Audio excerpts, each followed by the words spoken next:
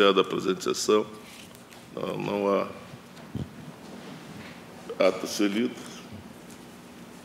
E iniciamos o julgamento de processos.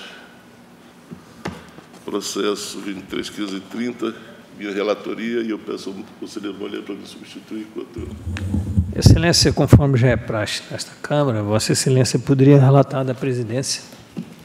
Excelência, assim sendo, eu, até vênia, eu solicito votação em bloco dos processos de relatoria de 23.530 a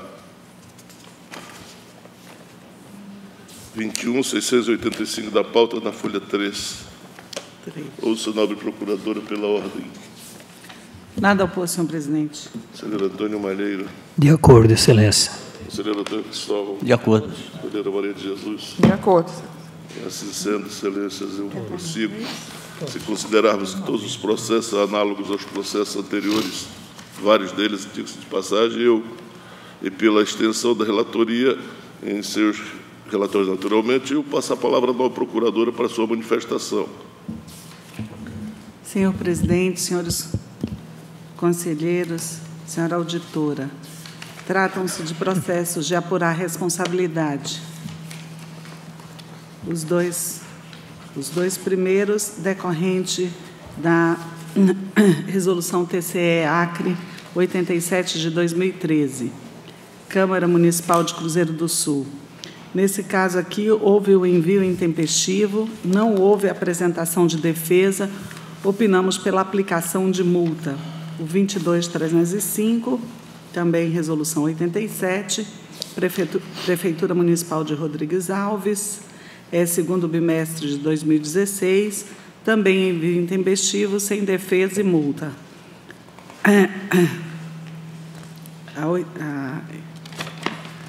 o processo 22969 já é decorrente é, das informações de pessoal, né?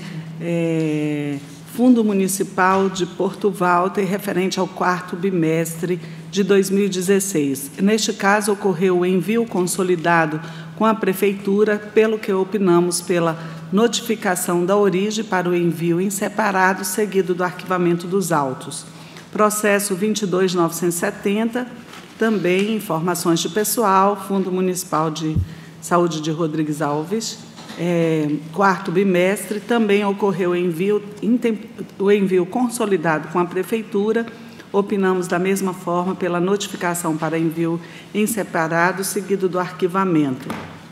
É, o mesmo é, também da mesma ou, a, também o processo 22663 Secretaria de Estado de Infraestrutura e Obras Públicas informações de pessoal referente aos três bimestres de 2016. Ocorreu envio intempestivo, a, a, defesa, houve apresentação de defesa, noticiando o envio a destempo, e aí também opinamos pela notificação seguida do arquivamento, em face de que esses processos, esses são referentes aos, aos três primeiros bimestres, e eh, aquela fase de adaptação e também de construção do nosso sistema. Processo 22580, é, informações de pessoal também da Sanacre. Aqui, é, houve, aqui não houve o envio, é, a defesa não foi acatada e opinamos pela aplicação de multa. Neste caso, não houve envio. É, processo 22632, Secretaria de Estado de Articulação Institucional. Aqui houve envio intempestivo, é, defesa alegando o envio com pequeno atraso, que realmente foi pequeno, e opinamos pela notificação e arquivamento do processo. É, processo 23693, apurar responsabilidade também pela folha de pagamento do Fundo Estadual de Habitação, esse aqui ele não realiza despesa com pessoal, pelo que sugerimos o arquivamento do processo. Agora, esse processo 21685 é até o 21685, conselheiro? O bloco? 165, 156. Então, é, perdão, desculpe. O 9 na pauta, né? É 21685. Emitido. Página 3. Pois é, esse é o último, né, do Isso. bloco. Esse aqui é apurar re- responsabilidade na realização do, de processo seletivo.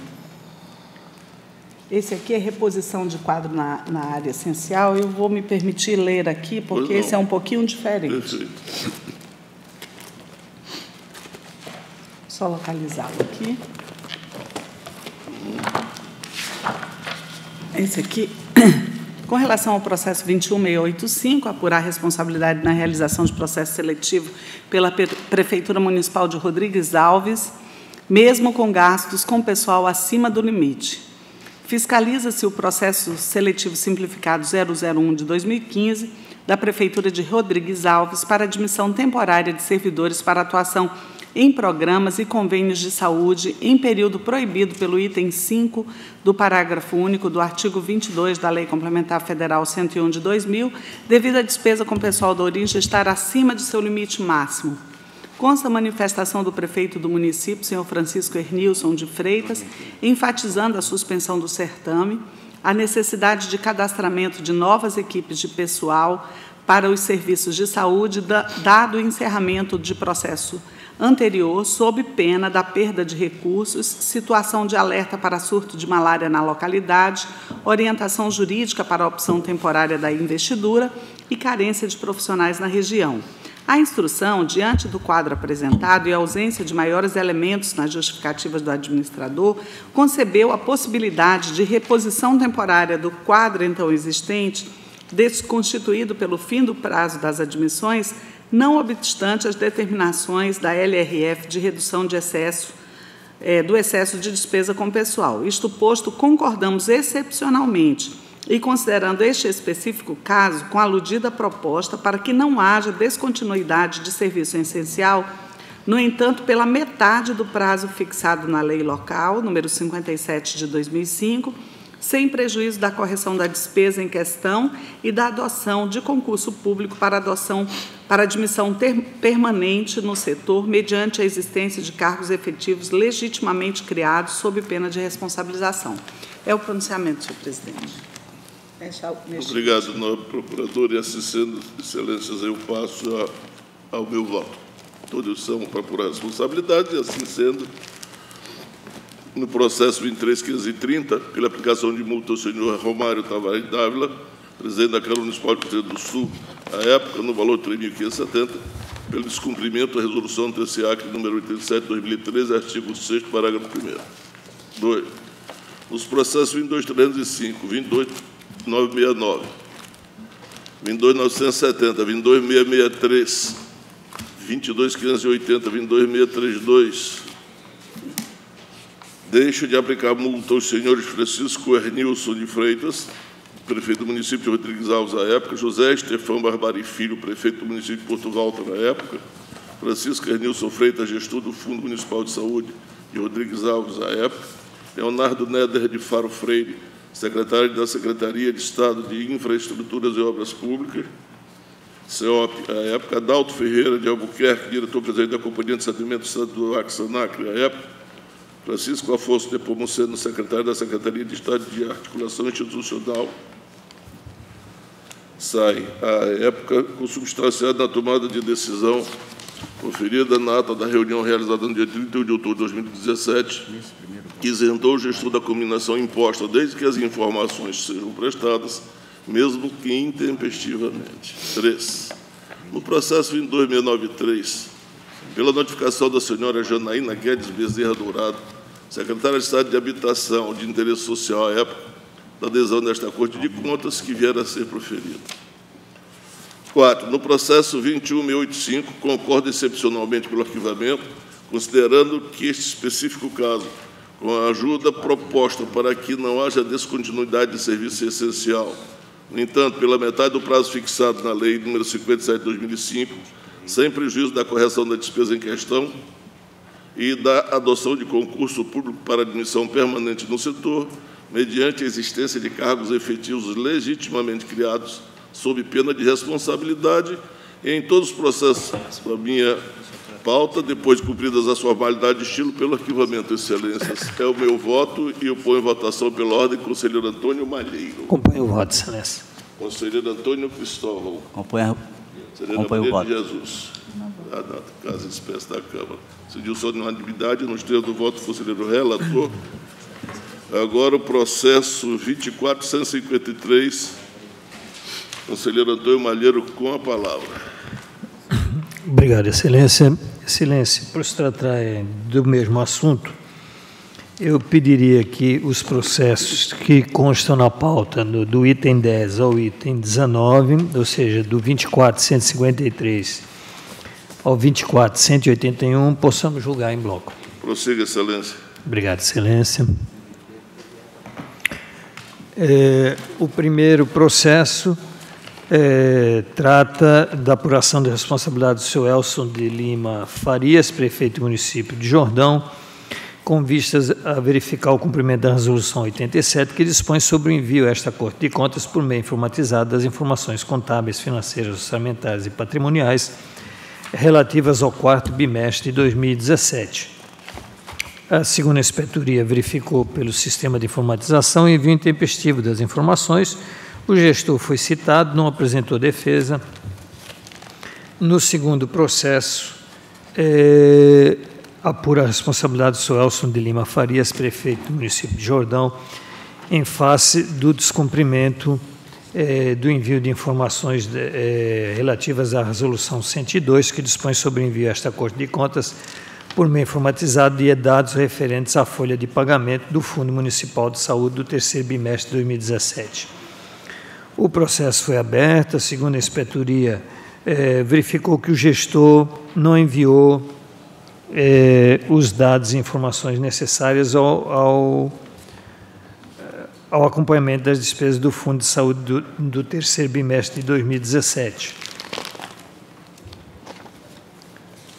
Regularmente citado, o gestor, através do Diário de Contas, eh, eh, o mesmo não aproveitou a oportunidade, quedando-se inerte. No processo seguinte, o 2456, eh, trata de apuração de responsabilidade do senhor Carlos Tadeu Lopes da Silva, presidente da Câmara Municipal, pelo não envio a esta Corte de Contas de informações referentes eh, à parte contábil, financeira, orçamentária e patrimonial do quarto bimestre de 2013. A segunda inspetoria apurou o seu não envio, o gestor foi citado, mas não apresentou qualquer informação.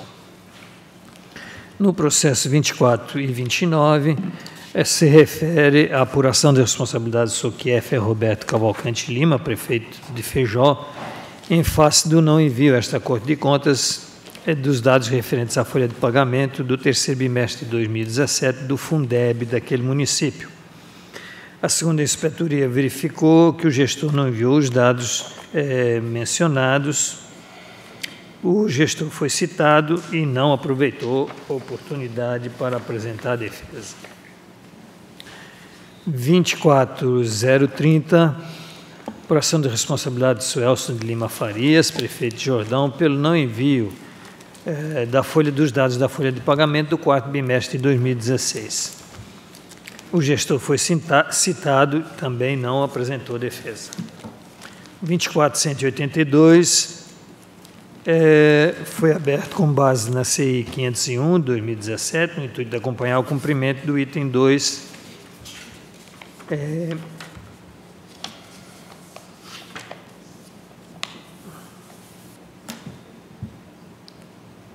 Perfeito. O item 2 do Acórdão 736 desta, da primeira Câmara. O relatório técnico às folhas 9 a 11 aponta que quando o senhor Antônio Raimundo de Brito Ramos foi intimado através do Diário Eletrônico de Contas para cumprir as determinações daquele acórdão, não ocupava mais o cargo de prefeito do município, que o impedia de cumprir a decisão. Em face disso, a, GCE, eh, neste processo, opina pelo seu arquivamento.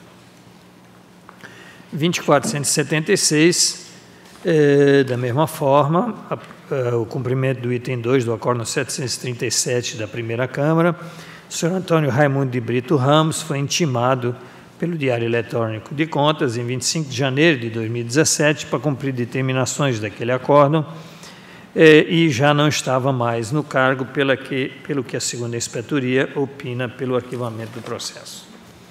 24180, da Câmara Municipal de Bujari, a mesma situação. É, no entanto, o relatório técnico, as folhas 9 a 10, aponta que foram cumpridas as determinações do acordo. 24179, Prefeitura Municipal de Capixaba. Também para verificação do cumprimento do item 2 do acordo 742 da primeira Câmara.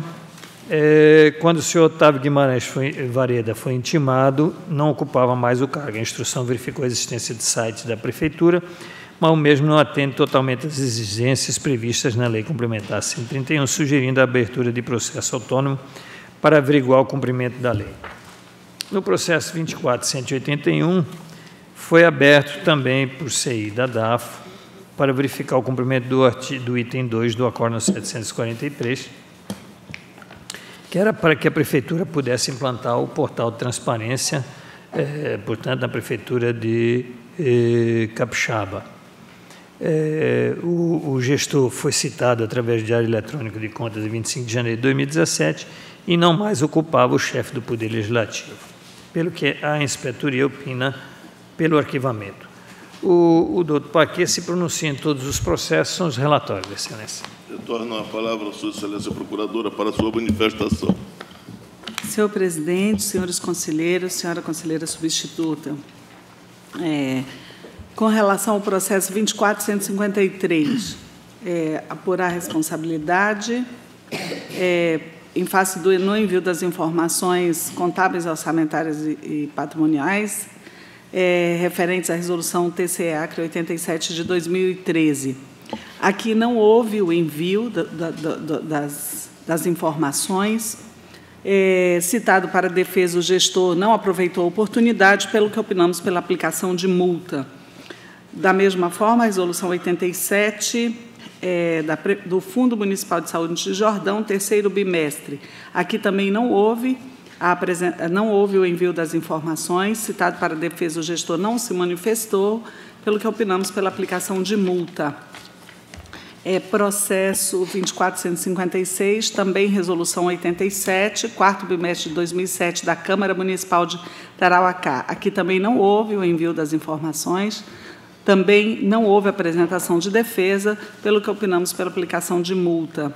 É, processo 24029, Fundeb de Feijó. Aqui já é resolução 102, referente a pessoal. Aqui também não houve apresentação, não houve o envio das informações referentes ao pessoal. É citado para defesa, o gestor não se manifestou, pelo que opinamos pela aplicação de multa é, resolução 102, referente ao terceiro bimestre de 2017, do Fundeb de Jordão.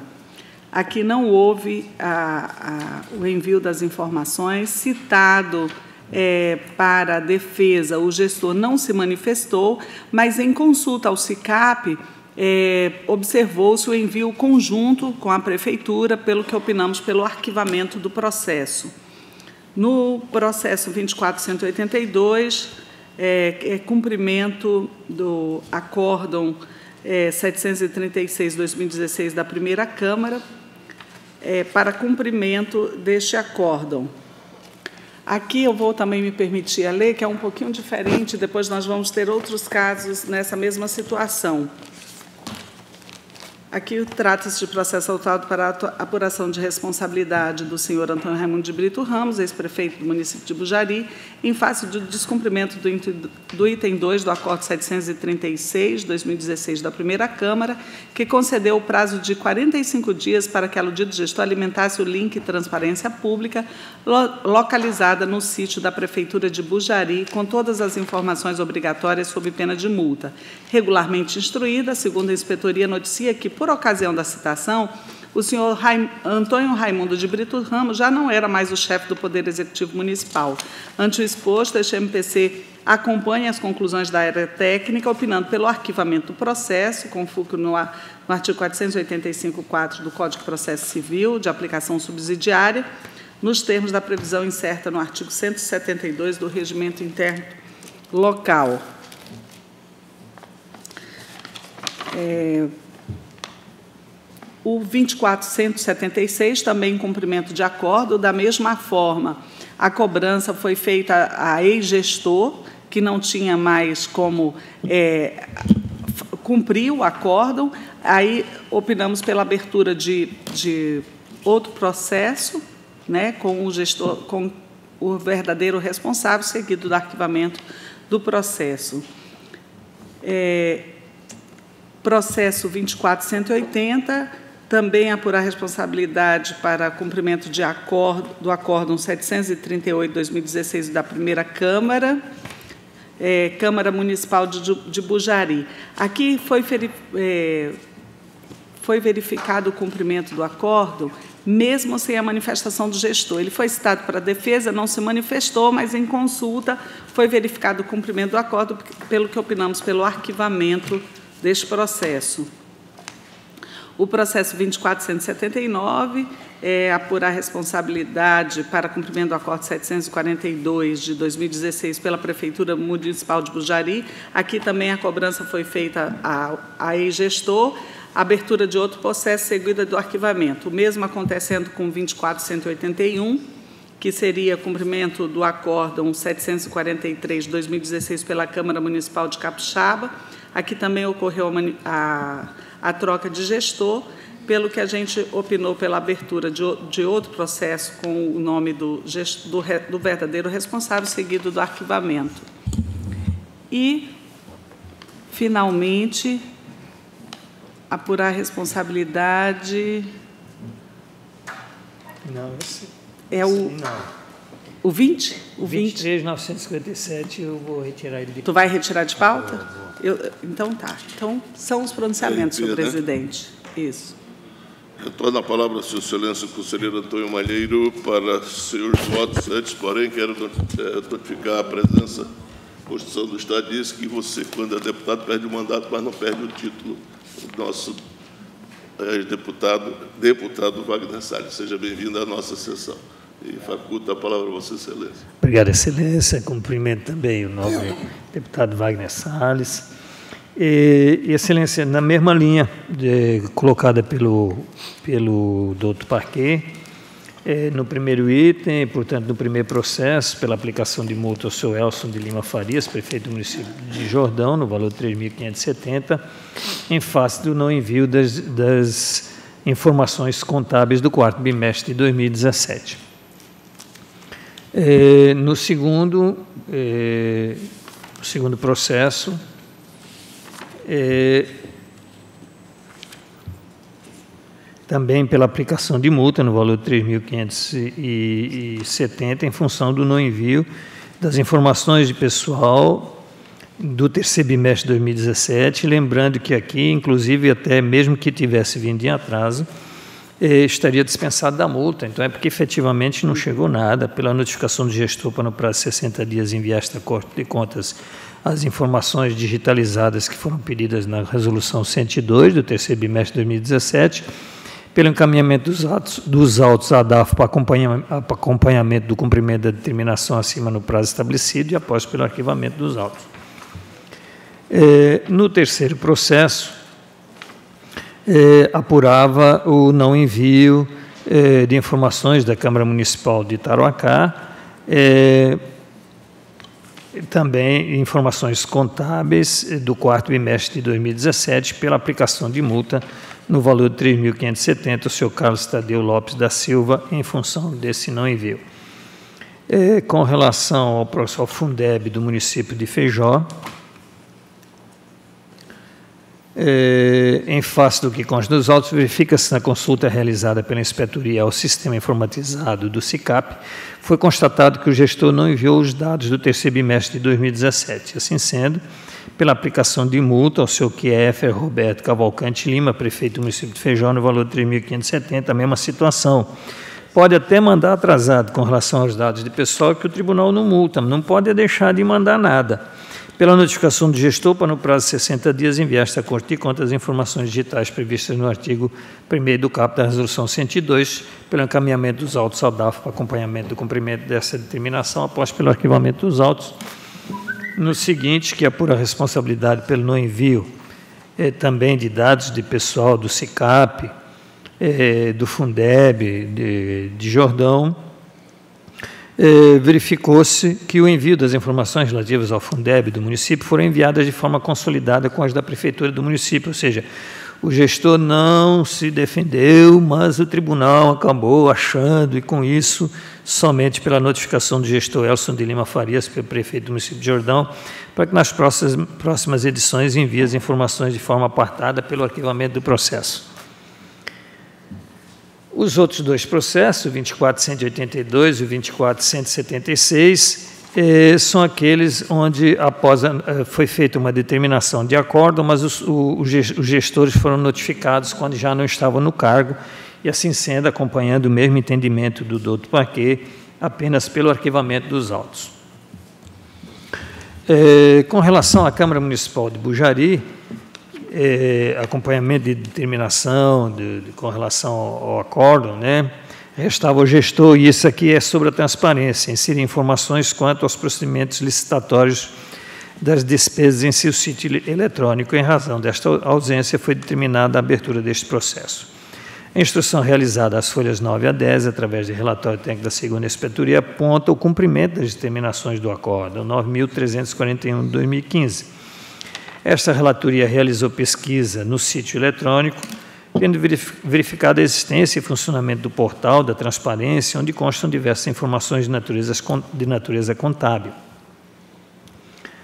É, é, mas não foi encontrado no portal informações relativas aos procedimentos licitatórios das despesas, conforme ordena o artigo 48A da Lei 101.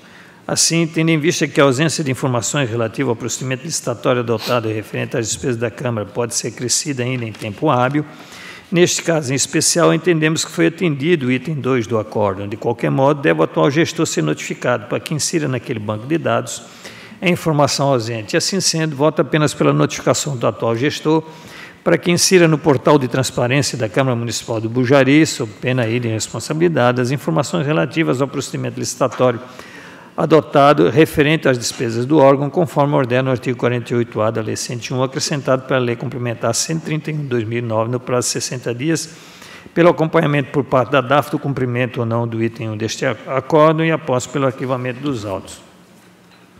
A mesma situação ocorreu no processo seguinte, com relação eh, à Prefeitura de Capixaba mas ali verificou-se, realizou-se pesquisa na rede eh, de computadores, que o município já dispõe de endereço eletrônico e quanto à sugestão da DAF para abertura de processo autônomo com o objetivo de apurar a responsabilidade do atual gestor do executivo no cumprimento da lei complementar citada, entendemos que é necessária, haja vista que, tal, que o ponto que era necessário colocar e verificar do portal da transparência já é analisado no réu e no RGF, e assim somos apenas pelo arquivamento dos autos.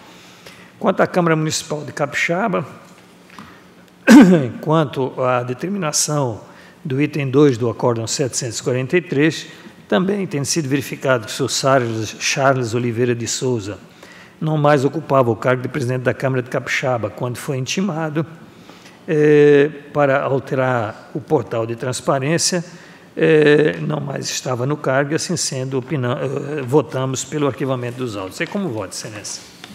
Em votação pela ordem, conselheiro Antônio Cristóvão. Acompanho o relator. Conselheira, voto para completar a quórum, decidiu-se a unanimidade nos termos do voto do conselheiro relator, que continua agora com o processo 23.957. É, excelência, então eu peço para retirar o processo 23.957 e passo ao processo 15.758. Excelência Perfeito. nossa relatoria também. E aí eu pediria para julgar em bloco os processos que, na, que são todos de aposentadoria, os que estão de item 21 até ao 36, todos referentes à aposentadoria. Prossiga, Excelência. Obrigado, Excelência. O primeiro processo é da servidora da Secretaria de Desenvolvimento Humano e Inclusão Social, Ione Teles Nogueira, no cargo de agente administrativo, com 19 anos, 305 dias é, de tempo de serviço líquido, e a quarta inspetoria aponta é, que a servidora preenche todos os requisitos constitucionais para fazer jus à aposentadoria voluntária por idade, com proventos proporcionais por tempo de contribuição e apresenta o enquadramento e a fixação dos proventos de uma referência 4 que totalizam 545 reais, que era o salário mínimo vigente à época. No segundo processo, é, é a aposentadoria da servidora da Secretaria de Educação e Esporte, Maria Deusa Daniel de Souza, no cargo de apoio administrativo nível 2, 30 horas, é, com tempo de serviço líquido de 30 anos, 73 dias, e a instrução aponta que a servidora preenche os requisitos constitucionais para fazer jus à aposentadoria voluntária integral por tempo de contribuição, com enquadramento e fixação de proventos na classe 1, referência J, com R$ 1.739,18. O processo seguinte, 20733, se refere à aposentadoria da servidora da Secretaria de Estado de Educação e Esporte, Raimunda Barroso Pessoa, no cargo de professora nível superior de 30 horas, com tempo de serviço líquido de 32 anos, 7 meses, 15 dias, eh, no qual a instrução aponta que preenche todos os requisitos constitucionais para fazer jus à aposentadoria voluntária integral, especial, por tempo de contribuição e apresenta enquadramento e fixação de proventos na classe 2, referência J, com R$ 4.851. O processo 2763 se refere à aposentadoria por invalidez da servidora da Secretaria de Estado de Educação e Esporte, Nilcelene Lopes de Souza, no cargo de professora de nível superior de 30 horas, com 28 anos, 8 meses e 27 dias de tempo de serviço líquido. É, a instrução aponta que a servidora apresenta, foi aposentada por invalidez decorrente de alienação é, mental, doença especificada, com CID, é, no artigo 35 da Lei 154, suas alterações, pelo que tem direito à aposentadoria com provento integral e apresenta o enquadramento e a fixação de proventos no grupo 1, referência J, com R$ 4.457,61.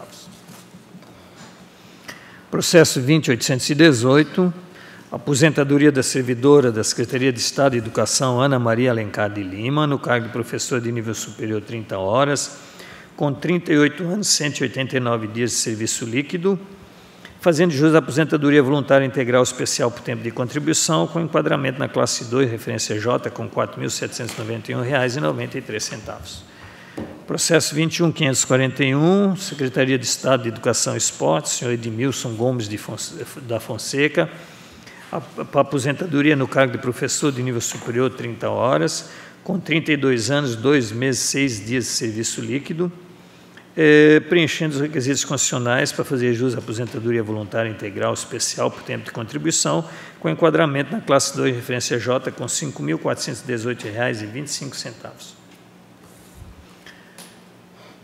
Aposentadoria da servidora pública da Secretaria de Estado de Educação, Risonete Ribeiro da Silva, no cargo de professora de nível superior, 30 horas, com 26 anos, 5 meses e 12 dias de serviço líquido, fazendo jus à aposentadoria voluntária integral especial por tempo de contribuição, com provento de enquadramento na classe 2, referência H, com R$ 4.287,52.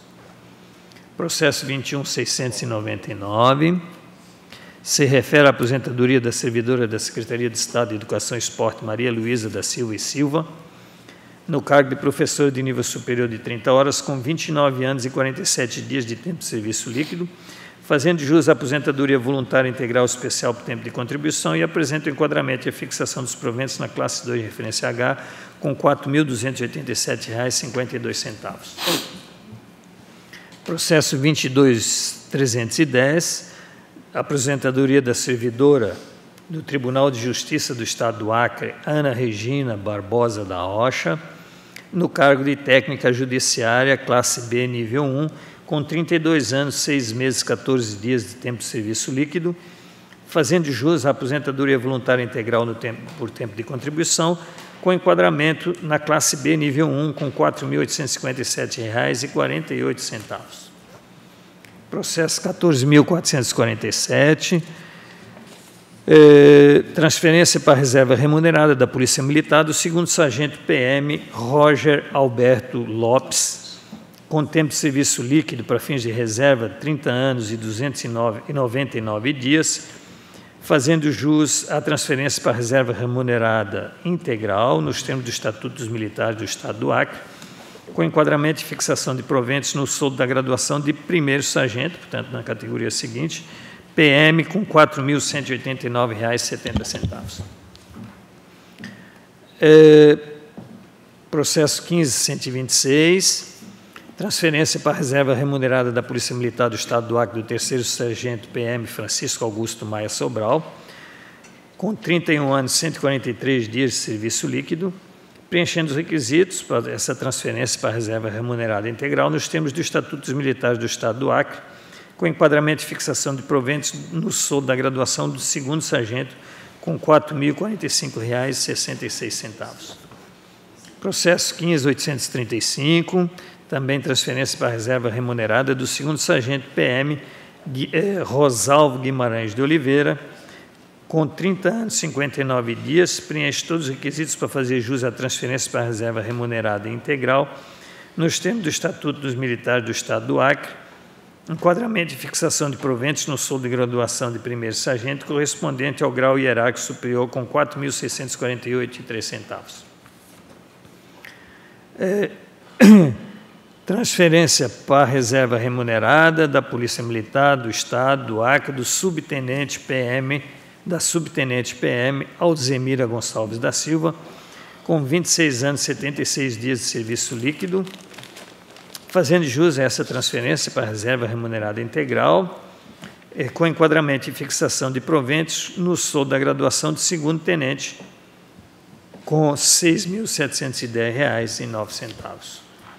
Processo 18.693, transferência para reserva remunerada da Polícia Militar do subtenente PM Normando Furtado de Arruda, com 38 anos, 8 meses e um dia de serviço líquido, com enquadramento e fixação de proventos no soldo de graduação de segundo tenente, R$ 7.697,70. Transferência para reserva remunerada da Polícia Militar no processo 20528 do terceiro sargento José Oliveira de Souza, com 31 anos, 5 meses e 14 dias de serviço líquido, eh, com enquadramento e fixação de proventos no soldo da graduação do segundo sargento PM com R$ 5.336,44. E, por último, o processo 2725, transferência para reserva remunerada do terceiro sargento Luiz Gonzaga de Souza, com 30 anos e um dia de serviço líquido, eh, com enquadramento e fixação de proventos no soldo da graduação agora de segundo sargento com R$ 5.240,95. O doutor Parque se pronuncia em todos os processos, são os relatórios, excelência. Com a palavra, Sua Excelência, a Procuradora Ana Helena, para a sua manifestação. É, tratam o, o, os processos. Desculpe. Né? Tratam os processos é, em bloco agora de inativações de servidores públicos civis e, militares. E militares. A, análise técnica procedida em todos os processos constatou a legalidade das concessões. O processo foi remetido ao MP, observadas as peças constantes de todos eles, é, este MPC verificou também a regularidade das concessões, pelo que opina pela, é, pelo consequente registro neste tribunal a teor do inciso 3 do artigo 61 da Constituição Estadual de 89. São os pronunciamentos em todos os processos, senhor presidente. Excelência, relator para seus votos.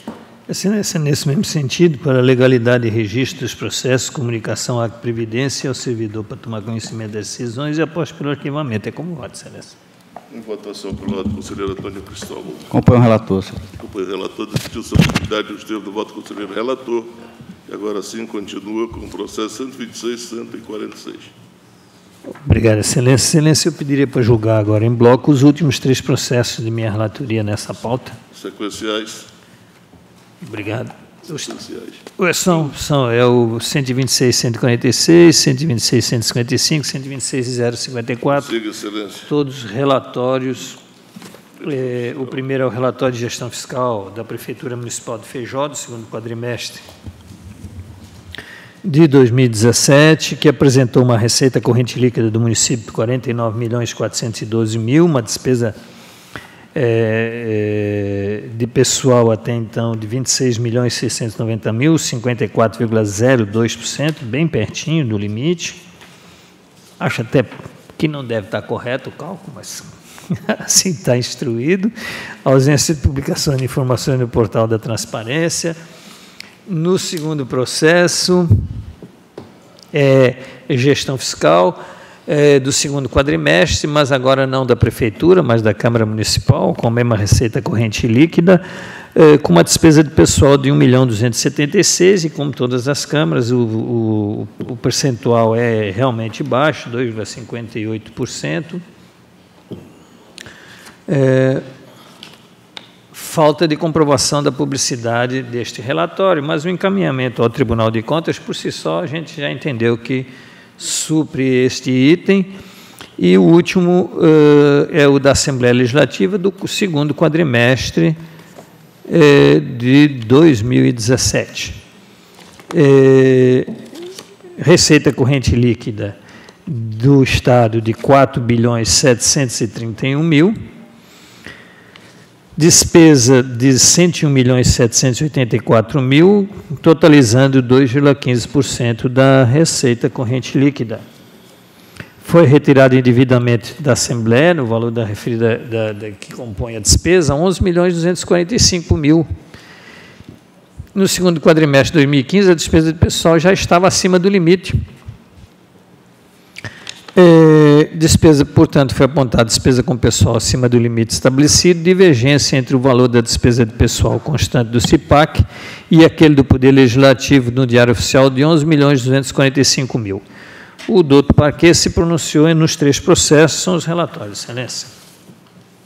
Passo a palavra à Sua Excelência Procuradora Adelena, para a sua manifestação. Senhor presidente, eh, senhores conselheiros, senhora conselheira substituta, Trata-se, é, o primeiro processo, 126 de 146, trata-se de relatório de gestão fiscal do Poder Executivo de Feijó, segundo quadrimestre de 2017, de responsabilidade do senhor Kiefer Roberto Cavalcante Lima, prefeito, apresentado tempestivamente, mas não veiculado no portal de transparência da unidade. A análise apontou que a despesa com o pessoal da origem está em queda desde 2014, porém ainda se apresenta um pouco acima do limite máximo para tanto, 54,02%, o que exige redução. Isto posto, sugerimos a notificação do responsável para corrigir a divulgação da matéria e reduzir a despesa de pessoal, conforme determinação do artigo 23 da Lei de Responsabilidade Fiscal, sob pena de fiscalização. Com relação ao, ao relatório de gestão fiscal da Câmara de Feijó, é o 126.155, também do segundo quadrimestre. É, a área técnica evidenciou que a despesa total com o pessoal da origem nos últimos 12 meses não ultrapassou o limite máximo, registrando dispêndios da ordem de 2,58% da receita, da receita corrente líquida, mantendo o percentual abaixo do limite permitido conforme gráfico apresentado. Ademais, houve transparência parcial na divulgação do presente RGF, tendo em vista que o, gestor não publicou os dados no portal de transparência, contrariando o artigo 1 da Lei Complementar Federal 131 de 2009 e o artigo 3 da Resolução TCA 61 de 2007, mas os dados estão disponíveis no, no, no. Antes exposto, opinamos pela notificação do presidente da Câmara para que adote as medidas necessárias a, para a comprovação da publicação do RGF no portal, sob pena de responsabilidade. E, finalmente, o processo 126.054, que é gestão fiscal, relatório de gestão fiscal da Assembleia Legislativa do Estado, também do segundo quadrimestre. O relatório técnico noticia que houve publicidade da matéria, todavia, todavia verifica divergência entre os dados registrados no CIPAC e aqueles publicados no Diário Oficial do Estado, notadamente na linha da despesa bruta, no valor de 11.237.990 reais e 94 centavos e na linha de despesas não computadas no valor de R$ 7.761 e 10 centavos. Além disso, verificou-se ausência de registro da despesa com inativos e, pensionistas, bem como outras inconsistências que demandam esclarecimentos pela origem. Ressaltou que, desconsiderando os valores ausentes e em conformidade ao publicado na origem, a Assembleia apresentou um gasto total com o pessoal dentro do limite fixado pelo artigo 20, é, 2, a linha A e parágrafo 1 da Lei Complementar Federal 101, considerando o percentual de 1,92 da receita corrente líquida. Contudo, considerando os valores registrados no CIPAC, as despesas alcançarão um percentual de 2,21% da receita corrente líquida, refletindo violação ao normativo legal supracitado.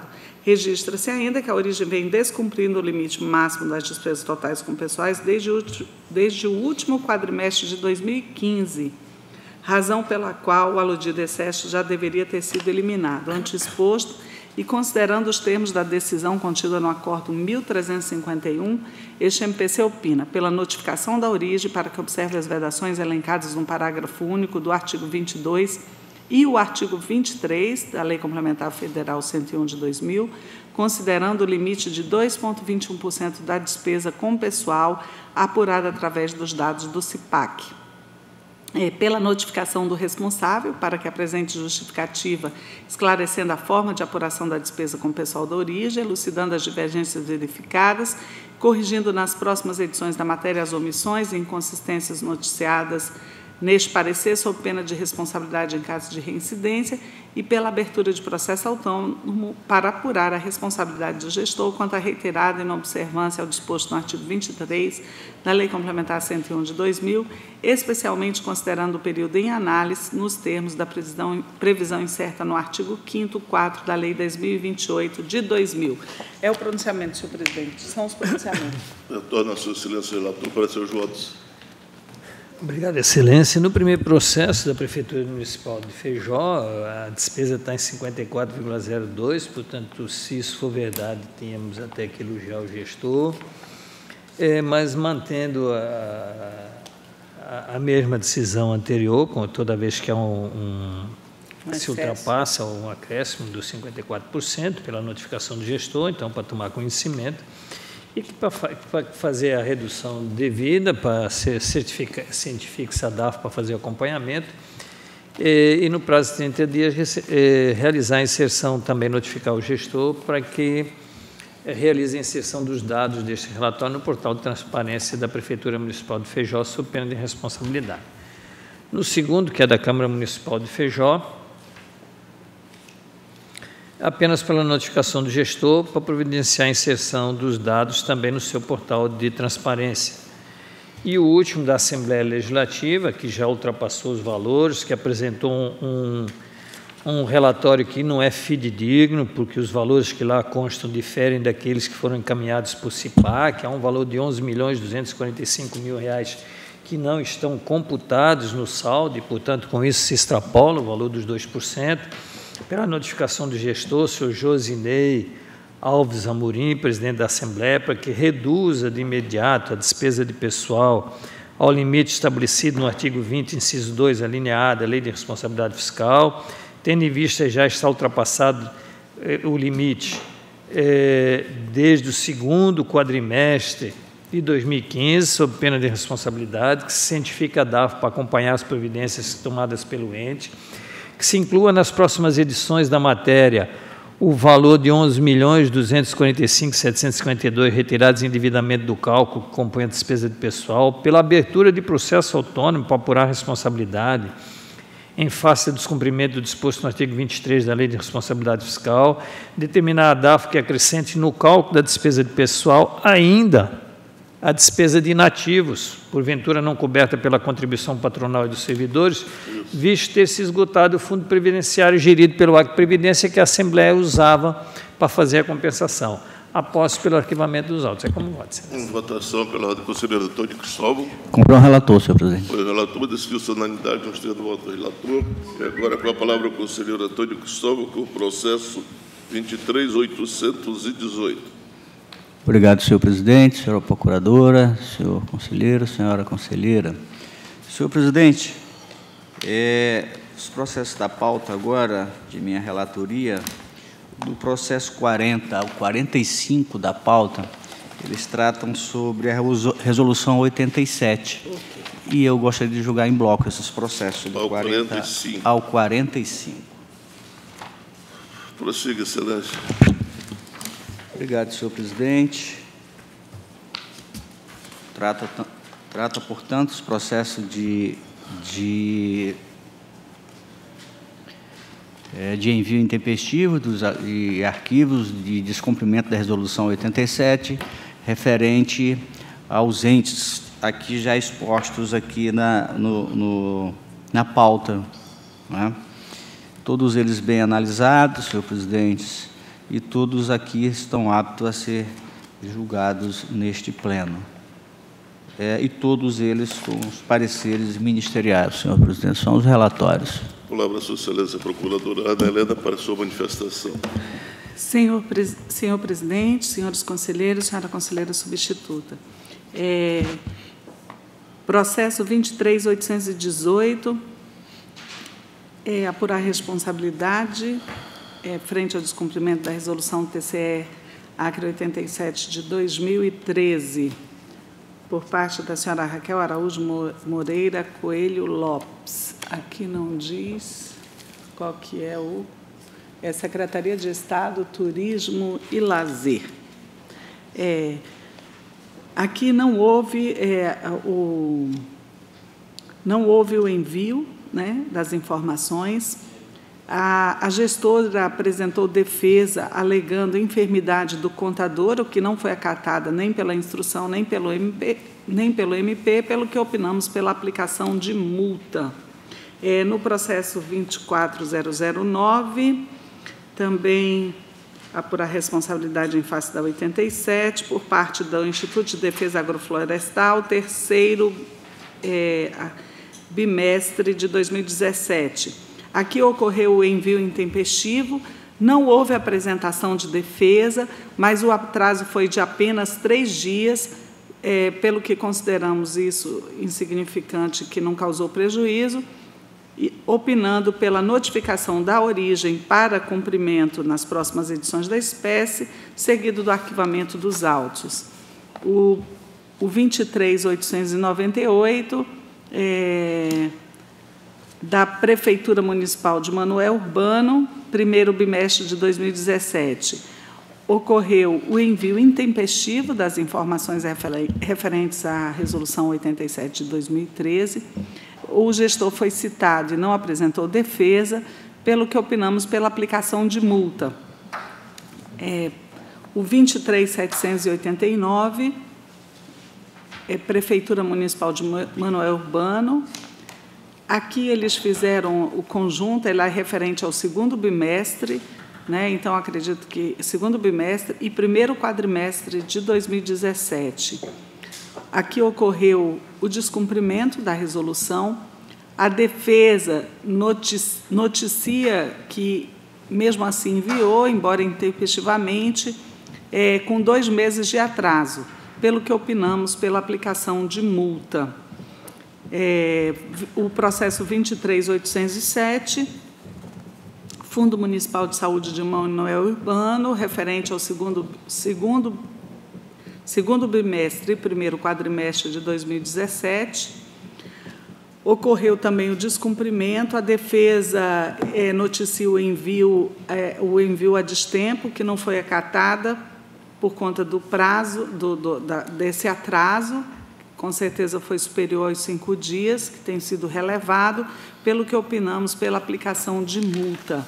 E, por fim, o 23903, é, Prefeitura Municipal de Sena Madureira, de, de Sena Madureira. Também houve descumprimento, a defesa alega que enviou intempestivamente e que não foi também acatada, nem pela, não foi acatada pela instrução e opinamos pela aplicação de multa. São os pronunciamentos, senhor presidente. Retorno Sua Excelência, relator, para seus votos. Senhor presidente, é, essa relatoria tem o mesmo entendimento do douto Ministério Público e acompanha o mesmo entendimento nos relatórios, no, no, no, nos pareceres ministeriais. São os meus votos, senhor presidente. Votação pela ordem do conselheiro Antônio Malheiro. Acompanho o voto, excelência. Acompanho o voto. Decidiu-se a unanimidade do conselheiro relator do voto. E continua agora com o processo 23765. Obrigado, senhor presidente. É, o 23765, senhor presidente, é o processo é o 46 da pauta até o 51 da pauta, todos eles tratam da resolução TCE 102, referente. Referente também, é, o primeiro é o Fundo Municipal de Saúde, Manuel Urbano, é, o do Fundeb de Manuel Urbano, o segundo, o terceiro, é, Fundo Municipal de Saúde de Sena Madureira, o quarto do Fundo Municipal de Saúde de Sena Madureira também. É, o quinto, senhor presidente, é da, do Tribunal de Justiça e o sexto, que é o 51 da pauta, da Secretaria de Produção da CEAPROF. Todos eles também são analisados e tratam todos também da Resolução 102, senhor presidente. Bem Prossiga, analisado, e excelência. o Ministério Público também se pronuncia em todos os processos. Pode prosseguir. É o relatório? É o relatório. Passa a sua excelência, procuradora Ana Helena, para a sua manifestação. Senhor presidente, senhores conselheiros, senhora conselheira, eh, tratam os processos eh, de apurar responsabilidade em face do descumprimento da lei eh, da resolução TCE-ACRE 102 de 2016. No processo 23765 do Fundo Municipal de Saúde de Manoel Urbano, eh, segundo bimestre de 2017 e também no 24031 2017 00 do, do Fundeb de Manoel Urbano, é, terceiro bimestre, a princípio houve o envio em conjunto com a prefeitura, é, é, posteriormente, aí houve a citação do, do, do, do responsável, ele fez o envio individualizado, nos dois casos, pelo que opinamos pelo arquivamento. É, o Fundo Municipal de Saúde de Sena Madureira, é, do primeiro bimestre de 2017, ocorreu, é, também foi verificado o descumprimento, mas se verificou que houve o envio é, tempestivo e conjunto com a Prefeitura, pelo que opinamos pela, pelo arquivamento do processo, sem prejuízo de notificação origem, para que seja feito em separado. É, o do Fundo Municipal de Saúde de Sena Madureira, segundo bimestre, o- ocorreu descumprimento, é, não houve apresentação de despesa, mas se verificou o envio intempestivo, pelo que opinamos pelo arquivamento. É, processo 24011, Tribunal de Justiça do Estado, terceiro bimestre. Ocorreu o envio intempestivo da matéria, mas um pequeno atraso de apenas três dias, pelo que opinamos também pelo arquivamento, tendo em vista que não houve, houve prejuízo para análise, é, dado a, a, pequena monta do atraso. É, processo 23887, é Secretaria de Produção CEAPROF, primeiro bimestre. Ocorreu o envio intempestivo, a defesa a, alegou intermitência na, na questão do sistema, entre o sistema dela e o sistema do tribunal, mas, da mesma forma, tendo em vista que enviou, opinamos pelo arquivamento do feito, sem prejuízo de notificação à origem, para o cumprimento a tempo. São os pronunciamentos, senhor presidente. Retorna a sua excelência o relator para seus votos. Senhor presidente, é que houve até um lapso do, na, da- no, no- no meu voto anterior, que naqueles processos que o Ministério Público pediu a multa, o valor da multa é 3.570, o qual eu Não botou. não coloquei. Então, fica aqui o registro daqueles processos são a- pela multa de 3.570 em todos eles. Então, estamos resolvidos aí. Nesses processos seguintes agora também, senhor presidente, todos bem analisados pela diretoria e com os pareceres ministeriais, ministerial também, senhor presidente, eu acompanho na íntegra todos os pareceres e incorporo o meu voto. São os, os meus votos, senhor presidente. Em votação pela ordem, conselheiro Antônio Malheiro. Acompanho o voto, excelência. Com o voto, decidiu-se unanimidade nos termos do voto do conselheiro relator, que continua agora com o processo 13616. Obrigado, senhor presidente. É,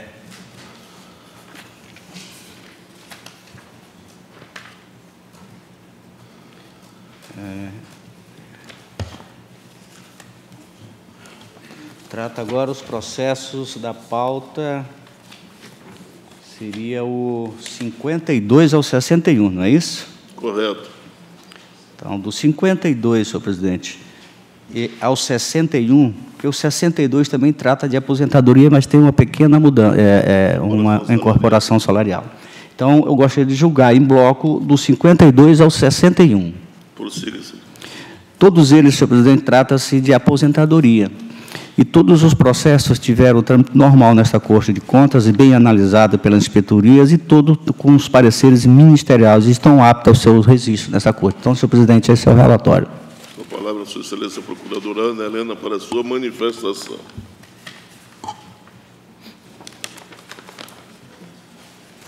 Senhor presidente, senhores conselheiros, tratam o, os processos em tela de inativações de servidores é, públicos civis vinculados ao regime próprio de previdência do Estado do Acre e um, e apenas um, servidor militar. É, a análise técnica procedida constatou a, a legalidade das concessões.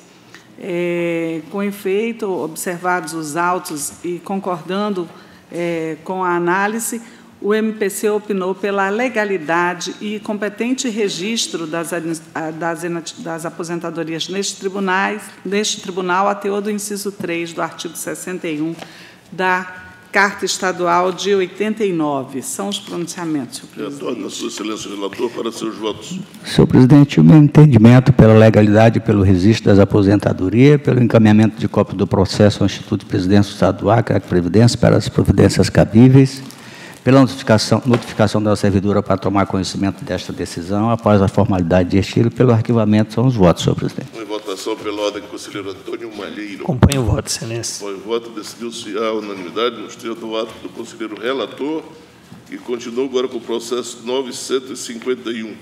Obrigado, senhor presidente. Esse processo trata-se de uma incorporação salarial do servidor Alfredo Teixeira Pinto. É, relatório e análise técnica da quarta inspetoria, é, nas folhas 99 a 100 apurou que a resolução TCE 78/2013 não se aplica aos processos de incorporação, mas sim aos processos relativos à aposentadoria, reforma e pensões. O egrégio Tribunal de Justiça do Estado do Acre possui jurisprudência é, garantindo a incorporação dos servidores em caso análogo a este. Não há a possibilidade do Tribunal de Contas, após 17 anos, exercer o controle externo sobre estes atos nos termos da Lei 8.784-99.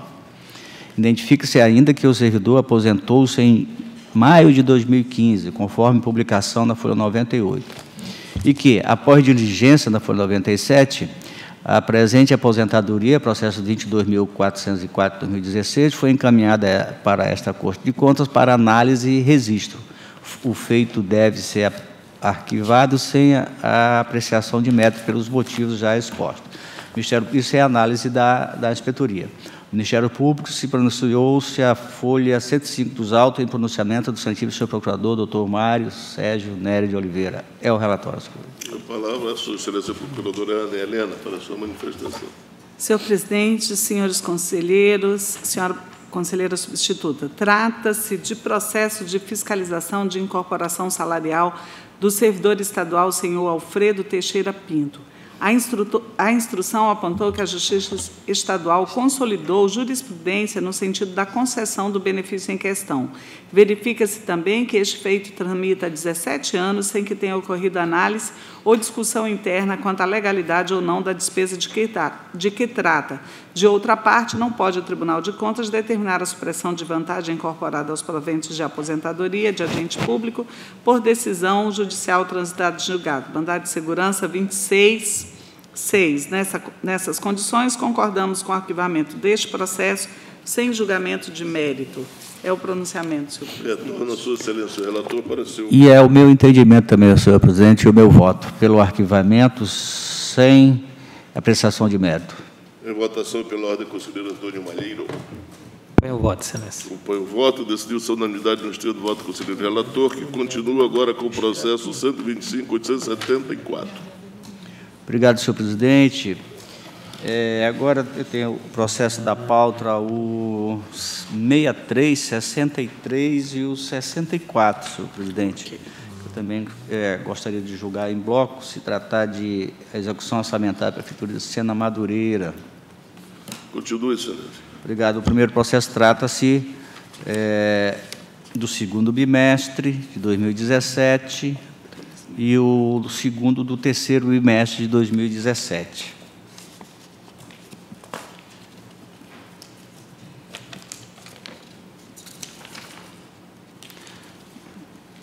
Todos os dois processos, senhor presidente, estão bem analisados pela a segunda IGCE. É, no primeiro, apontou uma receita realizada no primeiro de 17 milhões e 90 mil 159. É, a, a despesas líquidas de 11 milhões 165 281.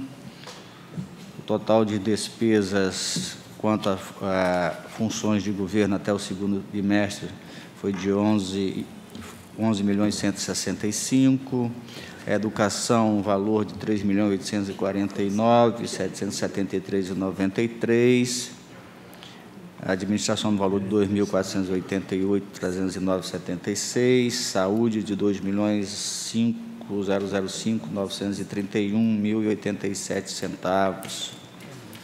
É,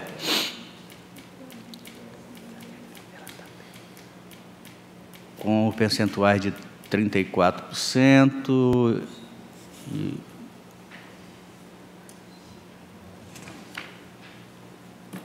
na saúde, né, percentuais de 34%. Enquanto vírgula é, 48%, é, 34%, 48%, 22,29%, é, respectivamente, na educação e na saúde.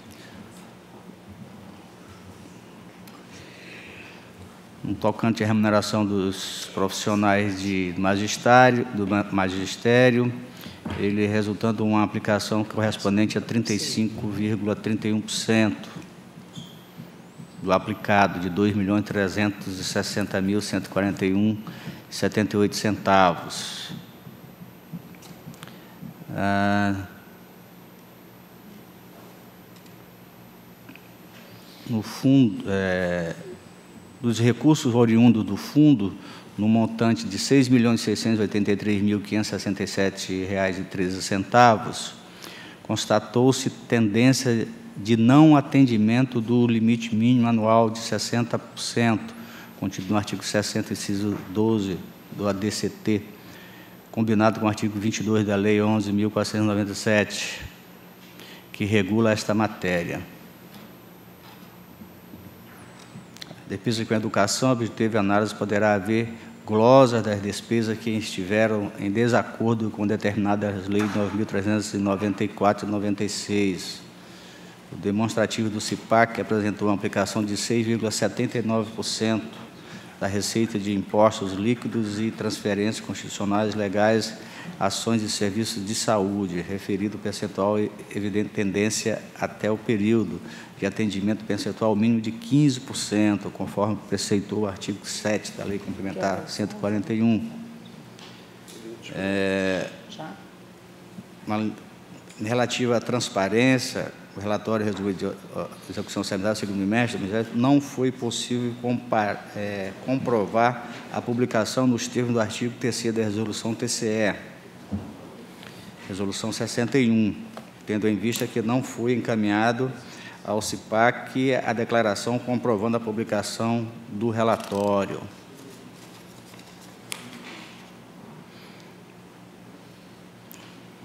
Ao fim da análise, segundo o GCE, propus atentar o responsável para o fato que é a ocasião da análise da prestação de contas executiva das despesas com educação será objeto de análise e poderá haver glosa nas despesas que estiverem de acordo com as normas regulamentares atentar o responsável para o percentual mínimo de 25% na educação. O Ministério se manifestou as folhas 32 e 33, sentido senhor procurador Sérgio Cunha Mendonça. É o relatório no primeiro. No segundo processo também, senhor presidente. Tendência desfavorável. na aplicação e manutenção do, do ensino, tendência desfavorável na aplicação do percentual mínimo de recurso do Fundeb, tendência desfavorável na aplicação do recurso das ações e serviços públicos de saúde, ausência de publicação da matéria do envio dos dados do sistema no, no, no, no Orçamento Público de Saúde, o CIOPS, e envio intempestivo das informações neste tribunal. O Ministério Público se pronunciou também, senhor presidente, através de Sua Excelência, Sua Excelência o Procurador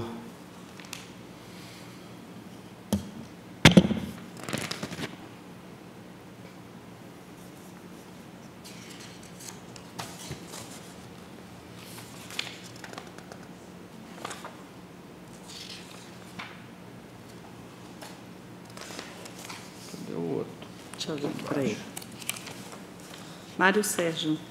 Não é? Mário Sérgio também. É, não é o Sérgio, é o Sérgio.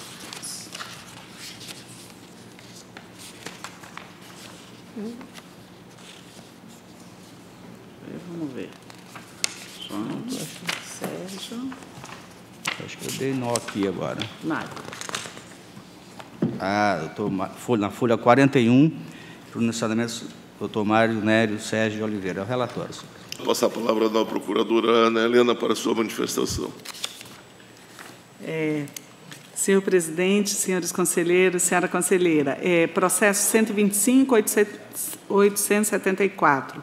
Relatório resumido de execução orçamentária, Prefeitura de Sena Madureira, segundo bimestre. É,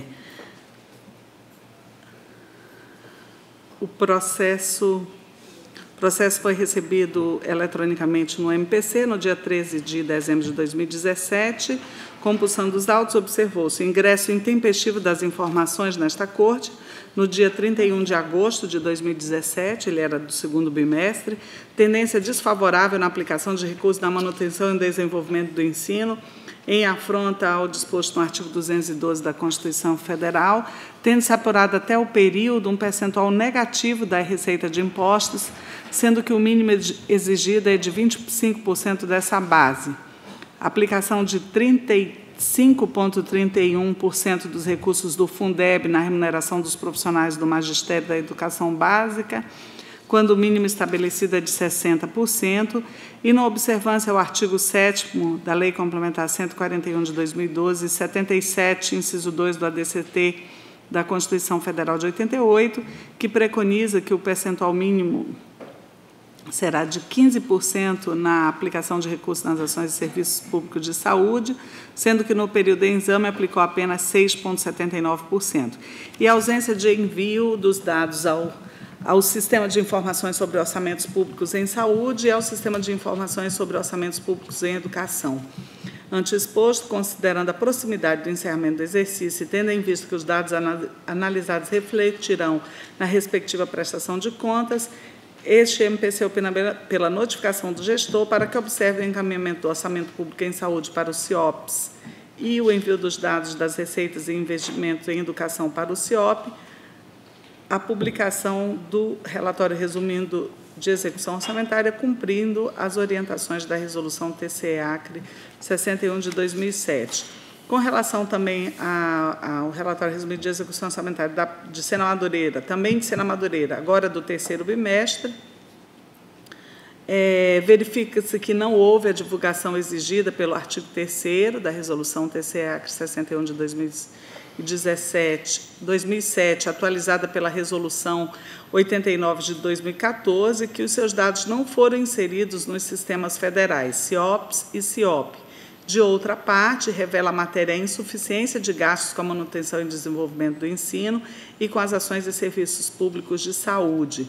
Isto posto, sugerimos a instauração de processo de responsabilização pelas infringências catalogadas, principalmente no tocante à intempestividade detectada e a emissão de alerta à origem com fulcro no inciso 5 do parágrafo 1 do artigo 59 da LRF para a necessidade de atingimento até o final do exercício da despesa mínima referenciada sem prejuízo da notificação do responsável para a inclusão do instrumento nos sítios mencionados sob pena de responsabilização.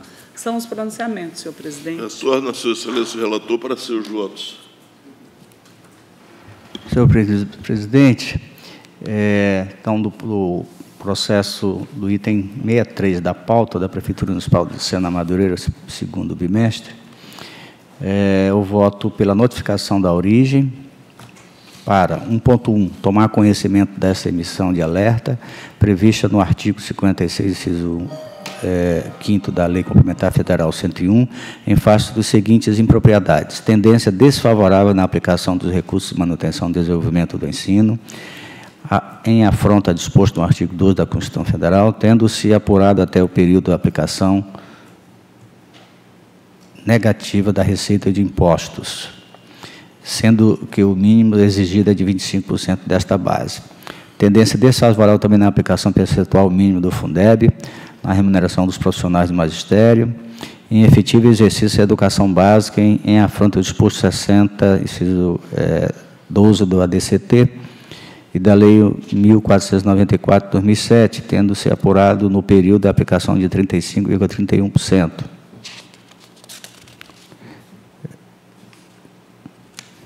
dos recursos do fundo, sendo que o mínimo exigido é de 60% dos recursos. Tendência desfavorável na aplicação dos recursos das ações e serviços públicos de saúde, também conforme determina o artigo 7 da Lei Complementar 141, tendo de ser apurado até o período da aplicação equivalente a 6,79% da receita resultante dos impostos e transferências constitucionais legais, sendo que o mínimo exigido é de 15%. 2.2. No prazo de 30 dias, contados a partir da notificação, providenciar o encaminhamento dos dados do Sistema de Informações sobre Orçamento Público em Educação, CIOP, e o Sistema de Informações sobre Orçamentos Públicos de Saúde, CIOPS, de tudo dando ciência a esse tribunal sob pena de responsabilidade em caso de descumprimento dos termos do artigo 89, inciso 4 da Lei Complementar Estadual 38. 1.3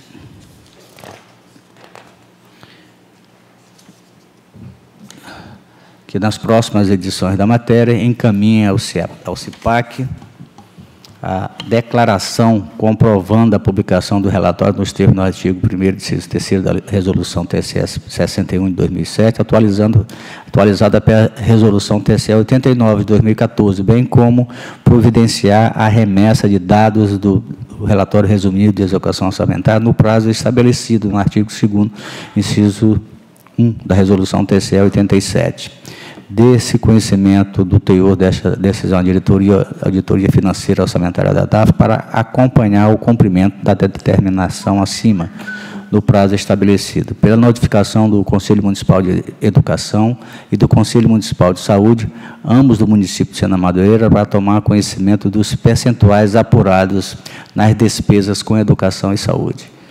É o voto, senhor presidente.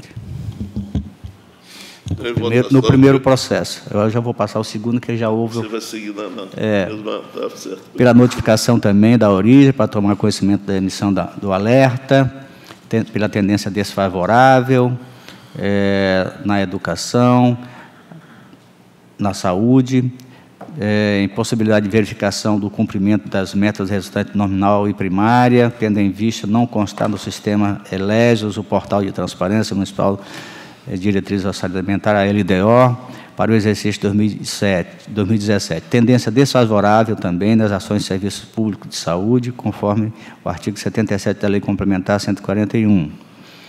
Também é,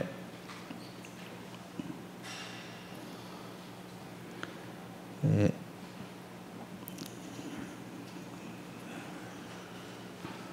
tendência apurada até o período na, no Serviço de Ações Públicas de Saúde, é, a aplicação de equivalente só 5,55% da receita resultante dos impostos sendo que o mínimo é de 15, 2.2, no prazo de 30 dias contado a partir da notificação, providencial o encaminhamento dos dados do Sistema de Informações sobre o Orçamento Público da Educação, CIOP, e o Sistema de Informações sobre o Orçamento também, Público de Saúde, CIOPS, de tudo dando ciência a esse tribunal sob pena de responsabilidade. 1.3, nas próximas edições da matéria, encaminhar ao CIPAC a declaração comprovando a publicação do relatório nos termos do artigo 1 inciso 3 da Resolução TCE 61 de 2007, atualizada pela Resolução TCE 89, bem como providenciar a remessa de, de dados do relatório resumido de execução orçamentária no prazo estabelecido. Da ciência também a, diretor, a diretoria e Auditoria Financeira Orçamentária, DAF, para acompanhar o cumprimento das providências emandadas no prazo estabelecido pela notificação do Conselho Municipal de Educação e o Conselho Municipal de Saúde, ambos do município de Sena Madureira, para tomarem conhecimento dos percentuais apurados nessas despesas com educação e saúde. São os votos, senhor presidente. Em votação pela ordem, conselheiro Antônio Marinho. Põe o voto, senhor. Põe o voto, decidiu-se unanimidade nos termos do voto. Conselheiro relator, que continua agora com o processo 126-163. Obrigado, senhor presidente. Trata-se de um relatório de gestão fiscal da Prefeitura de Santa Rosa, segundo quadrimestre. Relatório bem analisado, bem é, instruído pela segunda IGCE. E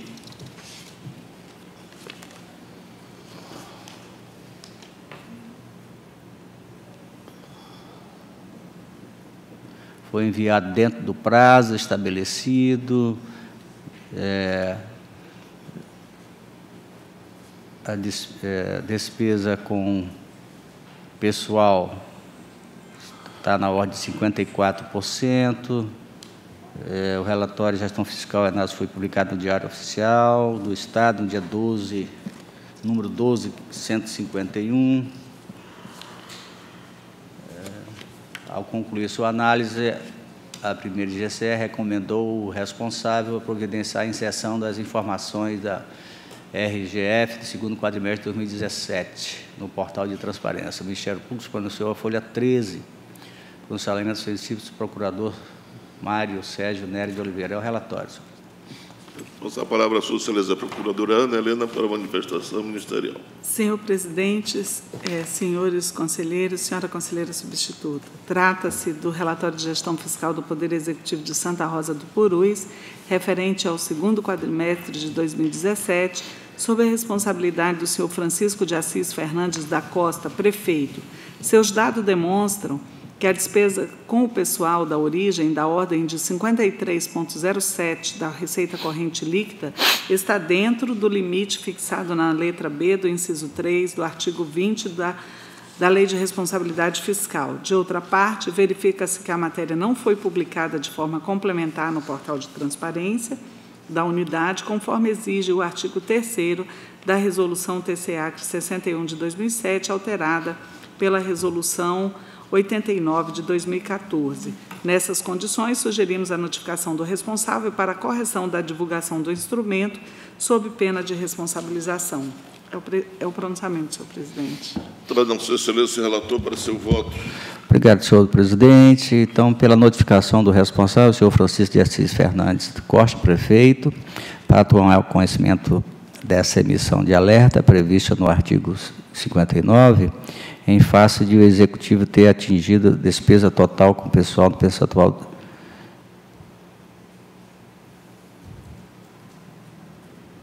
Aí já deu mais de 95. Aqui está dentro do limite, 53%.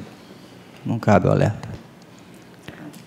É, é, portanto, 1.2, é só um para promover no prazo de 30 dias, contra a notificação, publicação da, do relatório de gestão fiscal no portal de transparência. É, o, perdão, Excelência, Vossa Excelência ainda está no voto, mas esse alerta deve ser pelo limite prudencial dos 95%. Sim, sim, é. Ele está no prudencial de 53,07, então alerta pelo limite prudencial da receita corrente líquida e promover no prazo de 30 dias a notificação da notificação da publicação do relatório de gestão fiscal no portal de transparência da Prefeitura, que deve ser constantemente atualizado nos termos da Lei Complementar Federal 131 de 2009, de tudo dando ciência a esse tribunal, sob pena de responsabilidade em face do descumprimento dos termos do artigo 89, inciso 4 da Lei é, Complementar 38.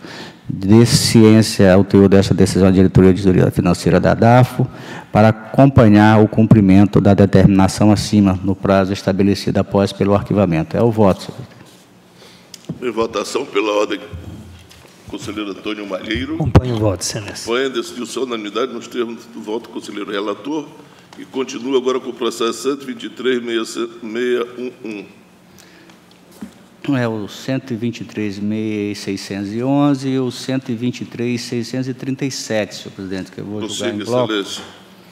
Que trata de relatório de gestão fiscal da Prefeitura de Epitaciolândia referente ao primeiro quadrimestre de 2016 e da Prefeitura Municipal de Epitaciolândia referente ao segundo quadrimestre de 2016 também. É, o primeiro, é, primeiro quadrimestre de 2016, responsabilidade do senhor André Luiz Pereira, sem prefeito municipal de Itaçolândia, no período enviado a esse Tribunal de Contas no dia 24 de março de 2017.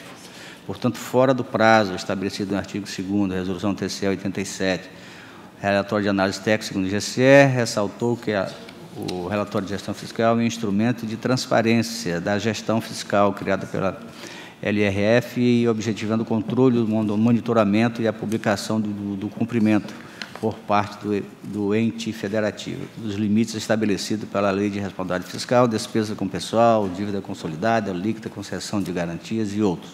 No entanto, em razão da intempestividade do lapso temporal das informações apresentadas para avaliar o desempenho da gestão fiscal da Prefeitura Municipal de Habitacional no período eh, e os dados deste relatório serão analisados de forma eh, consolidada na ocasião da apreciação da resolução da relatório do terceiro quadrimestre de 2016, no processo 123.671. O Ministério Público, Ministério Público se pronunciou através, eh, na folha 11, do excelentivo senhor procurador João Zé de Melo Neto. O segundo também, o relatório também de gestão fiscal, é, ele, ele enviou também fora do prazo. E o Ministério Público se manifestou a folha 9 dos autos em pronunciamento, senhor científico, senhor procurador João de Melo Neto. São os relatórios, senhor presidente. A palavra à sua excelência, procuradora Helena, para a sua manifestação. Senhor presidente, senhores conselheiros, senhora conselheira substituta, tratam os autos de relatório é, de gestão fiscal da Prefeitura Municipal de Itaciolândia, do primeiro e segundo quadrimestre de 2016, de responsabilidade do senhor André Luiz Pereira Assem, prefeito, encaminhados intempestivamente a este tribunal. O relatório técnico registra que, em razão da intempestividade atestada, as matérias seriam analisadas de forma consolidada no relatório de gestão fiscal do terceiro quadrimestre de 2016. Contudo, constata-se que o presente feito enquadra-se nos termos da decisão do Pleno desta Corte de Contas, exarada na papeleta de julgamento 001 de 2017, cuja redação reconhece a perda de objeto dos processos instaurados que versem sobre os relatórios de gestão fiscal relativos aos primeiros períodos de 2016 ou anteriores, excluindo-se os que suscitem alguma outra providência, considerando que as informações serão analisadas nas prestações de contas anuais respectivas. Ante o exposto, opinamos pelo arquivamento dos dois processos, senhor presidente. Retorna, Sua Excelência, o relator, para seus votos. No mesmo sentido, senhor presidente, pelo arquivamento. Em votação pela ordem, conselheiro Antônio Malheiro. Acompanho o voto, excelência. Acompanho o voto, decidiu-se a unanimidade nos termos do voto do conselheiro relator e continua agora com o processo 26.160. Obrigado, senhor presidente. Esse é o último processo de pauta de minha relatoria. Trata da gesto, é, relatório de gestão fiscal da Câmara Municipal Santa Rosa do Puru, isso é quatro, segundo quadrimestre de 2017. Responsabilidade do senhor James Moura de Carvalho, é, elaborado em profissional contábil, senhor Cláudio Roberto Pinheiro Araújo, enviado a esse Tribunal de Contas dentro do prazo estabelecido. A despesa total com pessoal, é, atingiu um montante de R$ 411.111,53, que representa um percentual de 1,98% da receita corrente líquida. No período, um montante de R$ 20 milhões 768.732,57 centavos, obedecendo ao limite contido no artigo 20, 6%. Ah, nos termos do gráfico 01, a evolução da despesa com pessoal nos últimos quatro exercícios, folha 06, depreende-se que nos últimos quatro exercícios o ente sempre obedeceu os limites máximos de 6%, com as despesas de pessoal, estabelecido na Lei de Responsabilidade Fiscal. Relatório de gestão fiscal, em análise, foi publicado no Diário Oficial do Estado, dia número 12.150, de 2 de 10 de 2017, bem como foi publicado de forma complementar no portal de transparência da Câmara.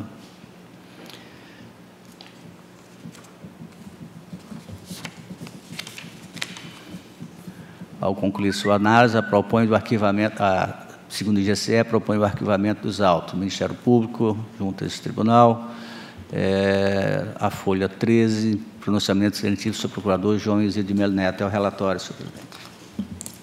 Passa a palavra a sua excelência procuradora Ana Helena para sua manifestação. Senhor presidente, senhores conselheiros, senhora conselheira, trata-se do relatório de gestão fiscal da Câmara Municipal de Santa Rosa do Purus, segundo quadrimestre de 2017, de responsabilidade do senhor James Moura de Carvalho, presidente encaminhado tempestivamente a esta Corte de Contas no dia 29 de setembro de 2017. O relatório técnico noticia que a despesa com o pessoal do Poder Legislativo Municipal no período sob análise ficou abaixo do limite previsto no artigo 20, inciso 3 da Lei de Responsabilidade Fiscal. Apurou-se ainda que o, relatório do segundo quadrimestre foi publicado no Diário Oficial do Estado e inserido no Sistema de Informações Contábeis e Fiscais do Setor Público, SICONF, nos termos do artigo 4 inciso 2 da Portaria STN 841 de 2016. Da mesma forma, constatou-se que o RGF foi publicado no portal de transparência do município, conforme determina a resolução TCACRE 61 de 2007. Ante exposto, este MPC opina pela regularidade da matéria e arquivamento dos autos. É o pronunciamento, senhor presidente. Retorno a sua excelência relator para o seu voto. O mesmo entendimento, senhor presidente ministerial, é o meu voto. A votação pela ordem, conselheiro Antônio Malheiro. Acompanho o voto, excelência. Acompanho o voto, decidiu-se a unanimidade no extremo do voto do conselheiro relator. E continua agora com o processo 122.948. Acho que o meu acabou, não? Uma aposentadoria só. Tem uma aposentadoria aí. É eletrônica, Cristóvão. É o, que é eletrônica. É, o, é o, é o 122, o 68, 9... É o 69 da pauta. É, 122, 948. 69 da pauta? Isso. Isso.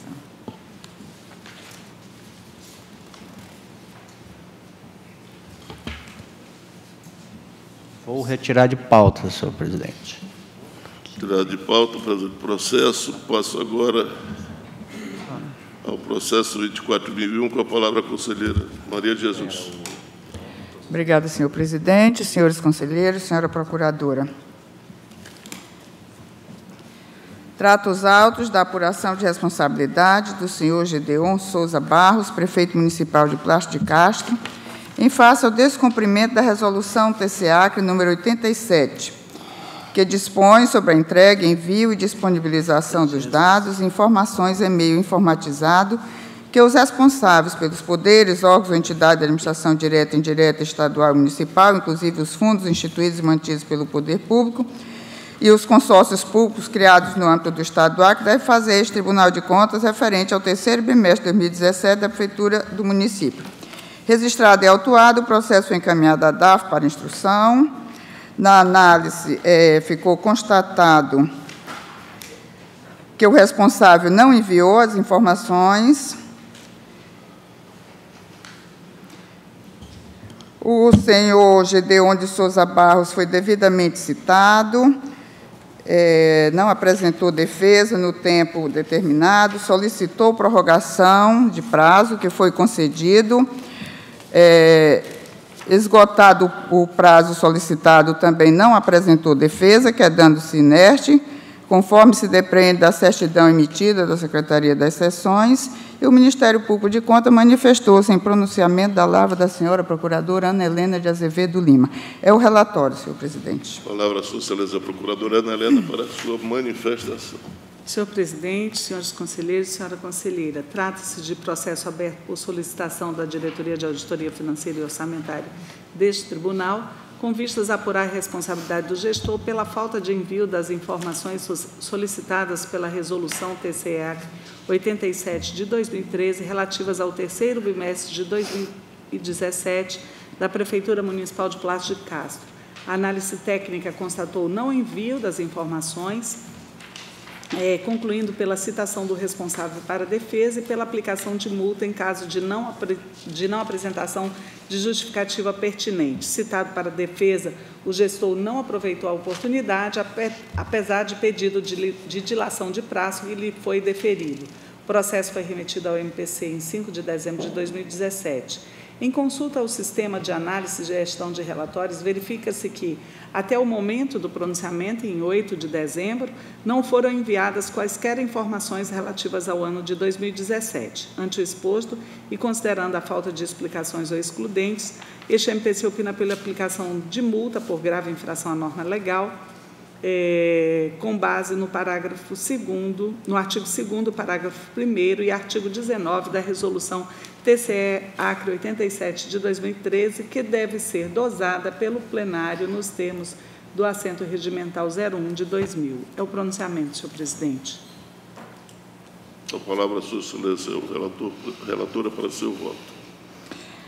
Obrigada, senhor presidente. Então, em face do que consta nos autos e que aqui foi apresentado, é, proponho que esta Câmara Aplique multa ao senhor Gedeon Souza Barros, prefeito municipal de Plástico de no valor de R$ 3.570, nos termos do artigo 89, inciso 2 da Lei Complementar Estadual número 38, conforme estabelece o artigo 19 da Resolução TCA, número 87 de 2013, em face do não envio das informações orçamentárias, financeiras, contábeis e patrimoniais da Prefeitura Municipal de Pasto de Castro, referente ao terceiro trimestre de 2017, para recolhimento no prazo de 30 dias, após a notificação deste, de tudo dando ciência a este Tribunal de Contas, e determine o arquivamento do processo após a formalidade de estilo. É a minha proposta de voto, Excelência. Em votação pela ordem do conselheiro Antônio Malheiro. Eu acompanho o, a proposta. Antônio Cristóvão. Acompanho a relatora. Acompanho o voto. Decidiu-se a unanimidade no externo do voto da conselheira relatora, que continua agora com o processo 24.028. Obrigada, senhor presidente. Que eu solicito julgar em bloco os processos de número 71 da pauta ao número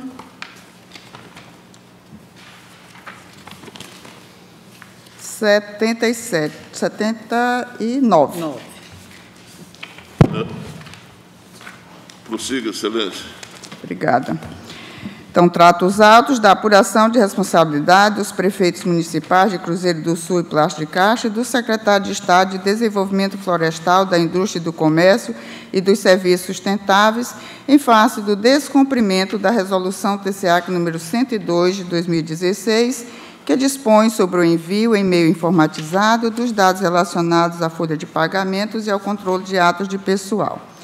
O senhor Euderlei Souza Rodrigues Cordeiro, prefeito municipal de Cruzeiro do Sul, referente ao terceiro e quarto bimestre de 2017 da Prefeitura Municipal, terceiro bimestre de 2017 do Fundo Municipal de Saúde de Cruzeiro do Sul e terceiro bimestre de 2017 do Fundeb de Cruzeiro do Sul. O senhor Gedeon de Souza Barros, prefeito municipal de Plástico de Castro, referente ao terceiro e quarto bimestre de 2017 da Prefeitura, terceiro bimestre de 2017 do Fundo Municipal de Saúde, e o terceiro bimestre do Fundeb, de Plácio de Castro. O senhor Sebastião Cibá Machado Oliveira, secretário de Estado, referente ao quarto bimestre de 2017. Registrados e autuados, os processos foram encaminhados à DAF para instrução. A segunda inspetoria, em sua análise técnica, constatou através de consulta ao Sistema Informatizado de Controle de Atos Pessoal SICAP, desta Cor de Conta, que os responsáveis não enviaram os dados relacionados à folha de pagamento e ao controle de atos de pessoal das entidades referentes aos bimestres supracitados, em descumprimento aos artigos 1 e 4 da Resolução TCA número 102. Os gestores foram devidamente citados por meio do Diário Eletrônico de Contas, porém não apresentaram defesa, quedando-se inertes conforme consta nas certidões emitidas pela Secretaria das Seções. o Ministério Público de Contas apresentou suas manifestações em todos os processos. É o relatório, Excelência. A palavra a Sua Excelência a Procuradora Ana Helena para a sua manifestação. Senhor presidente, eh, senhores conselheiros, senhora conselheira, eh, tratam os processos de apurar responsabilidade em face do não envio dos arquivos referentes à resolução TCE-ACRE 102 de 2003, que trata eh, das informações de pessoal. É, com relação aos processos do Fundeb de Cruzeiro do Sul e, e da Prefeitura de Cruzeiro, Fundeb de Cruzeiro do Sul, terceiro bimestre, Prefeitura é, de Cruzeiro do Sul, terceiro bimestre. Deixa eu ver aqui uma coisa, 24, 24015. Ah, o 24015 é do Fundo Municipal de Saúde. O primeiro é Fundeb de Cruzeiro do Sul, Fundo Municipal de Saúde de Cruzeiro do Sul e Prefeitura de Cruzeiro do Sul, é, todos do terceiro bimestre. Não ocorreu, é, não, não, houve, não, não foram enviadas as informações. Citado para a defesa, o responsável não aproveitou a oportunidade, pelo que opinamos pela aplicação de multa. É, com relação à Prefeitura também de Cruzeiro do Sul, quarto bimestre, da mesma forma, é, não enviou as informações, não houve, é, citado para a defesa, não aproveitou a oportunidade, opinamos pela aplicação de multa. O processo 75, Fundo Municipal de, de Saúde de Cruzeiro do Fundo Municipal de Saúde de Plácido de, de Castro, ocorreu o envio intempestivo das informações, citado para a defesa, o senhor Gedeon não aproveitou a oportunidade, mas, na, é, de acordo com a jurisprudência do tribunal e tendo em vista que a, a, é, o, o, o, o, sistema de pessoal ainda estava em construção, é, houve o envio, embora intempestivo, sugerimos o arquivamento do processo. É, Terceiro bimestre também da Prefeitura, esse do senhor Gedeon foi fundo municipal, da Prefeitura Municipal de Plata de Castro. Não ocorreu o envio, citado para a defesa, não, não, apresentou, não aproveitou a oportunidade, opinamos pela aplicação de multa. E também, é, quarto bimestre, também de Plata de Castro, o mesmo gestor, também não enviou as informações, citado para a defesa não, não aproveitou a oportunidade pela aplicação de multa. Aí, e terceiro bimestre também, o 77, também terceiro bimestre, Fundeb de Plácido de Castro, também não houve o envio das informações, citado para a defesa, ele não aproveitou a oportunidade pela aplicação de multa. E, finalmente, o último que é da SEDENS, referente ao quarto bimestre de 2017, ocorreu o envio intempestivo das informações, citado para a defesa, o gestor não, não aproveitou a oportunidade, mas tendo em vista que o atraso que ele mandou e que o atraso foi de pequena monta, opinamos pelo arquivamento do processo. São os pronunciamentos, senhor presidente. Retorno a Sua Excelência Relatora para seus votos. Obrigada, senhor presidente. Em face do que consta dos autos, verifica que os prefeitos municipais de Cruzeiro do Sul e Plástico de Castro o secretário de Estado de Desenvolvimento Florestal da Indústria, do Comércio e dos Serviços Sustentáveis não enviaram no prazo determinado os dados relacionados à folha de pagamento e ao controle de atos de pessoal das entidades, descumprindo, portanto, a resolução TCA número 102 de 2016. Contudo, conforme a ata da reunião administrativa deste tribunal, o colegiado desta Corte, objetivando unificar as decisões das matérias de competência das câmaras, decidiu por não aplicar multa aos gestores quando as informações forem enviadas intempestivamente. Em consulta realizada ao Sistema Informatizado do Controle de Atos de Pessoal, SICAP, constatamos que o processo 24.028 dados do terceiro bimestre de 2017 do Fundeb de Cruzeiro do Sul, foi enviado intempestivamente no dia 2 de fevereiro de 2018. O processo 2415, dados do terceiro bimestre do Fundo Municipal de Saúde Cruzeiro do Sul, também enviou intempestivamente no dia 2 de fevereiro de 2018. 24013, do terceiro bimestre de 2017, da Prefeitura Municipal de Cruzeiro do Sul, envio intempestivo no dia 2 de fevereiro de 2018. O processo 24149, quarto bimestre de 2017, da Prefeitura Municipal de Cruzeiro do Sul, envio intempestivo em 5 de fevereiro de 2018. O 24017, terceiro bimestre do Fundo Municipal de Saúde Plástico de Castro, envio intempestivo no dia 21 de dezembro de 2017. O 24014, dados do terceiro bimestre de 2017, da Prefeitura Municipal de Plástico de Castro, envio intempestivo em 24 de novembro de 2017. O 24150, dados do quarto bimestre de 2017 da Prefeitura Municipal de Plástico de Castro, também teve envio intempestivo no dia 24 de 11 de 2017. O processo 24032, dados do, do terceiro bimestre de 2017 do Fundeb de Plástico de Castro, não foi enviado até a presente data. E, por fim, o processo 24144, dados do quarto bimestre 2017 da SEDENS, teve envio intempestivo em 5 de outubro de 2017. Então, assim, divergindo em parte do, dos pareceres do Ministério Público, porque nós é, fizemos nova consulta ao sistema, então, por isso aqui eu trouxe todas as datas, é, proponho que esta Câmara aplique multa ao senhor Gedeon Souza Barros, prefeito municipal de Plástico de no valor de R$ 3.570, relativo ao processo 24032. Nos termos do artigo 89 da Lei Complementar Estadual, conforme estabelece o artigo 8 da Resolução TCA número 102, em face do não envio dos dados e informações necessárias ao acompanhamento da despesa de pessoal, referente ao terceiro bimestre de 2017 do Fundo de Manutenção do Ensino, da Educação Básica e Valorização dos Profissionais de Educação, Fundeb, do município, para recolhimento no prazo de 30 dias após a notificação deste, de tudo dando ciência a este Tribunal de Contas, e pelo arquivamento dos demais processos pelo envio intempestivo das informações.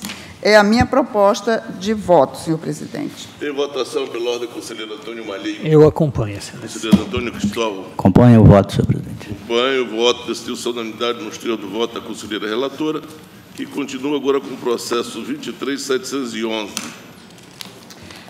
Obrigada, senhor presidente. Este processo, ele, eu não trago relatório, mas sim uma proposta de, de decisão, ou de alteração de decisão desta Câmara. Então, trata os autos de processo de inspeção instaurado a partir da comunicação interna número 192 de 2017 da Diretoria de Auditoria Financeira e Orçamentária DAFO, que comunicava a realização pela Prefeitura Municipal de Plástico de processo seletivo simplificado para contratação temporária de tal número 1, 2017, quando o ente encontrava-se acima do limite máximo da despesa com pessoal. Registrado e autuado, o processo foi distribuído a auditoria, que de imediato promoveu a citação do gestor. O senhor Gedeon de Souza Barros foi devidamente citado por meio do Diário Eletrônico de Contas, número 619, do dia 27 de abril de 2017, apresentando defesa tempestiva, conforme se depreende da certidão emitida pela Secretaria das Sessões, a folha 27.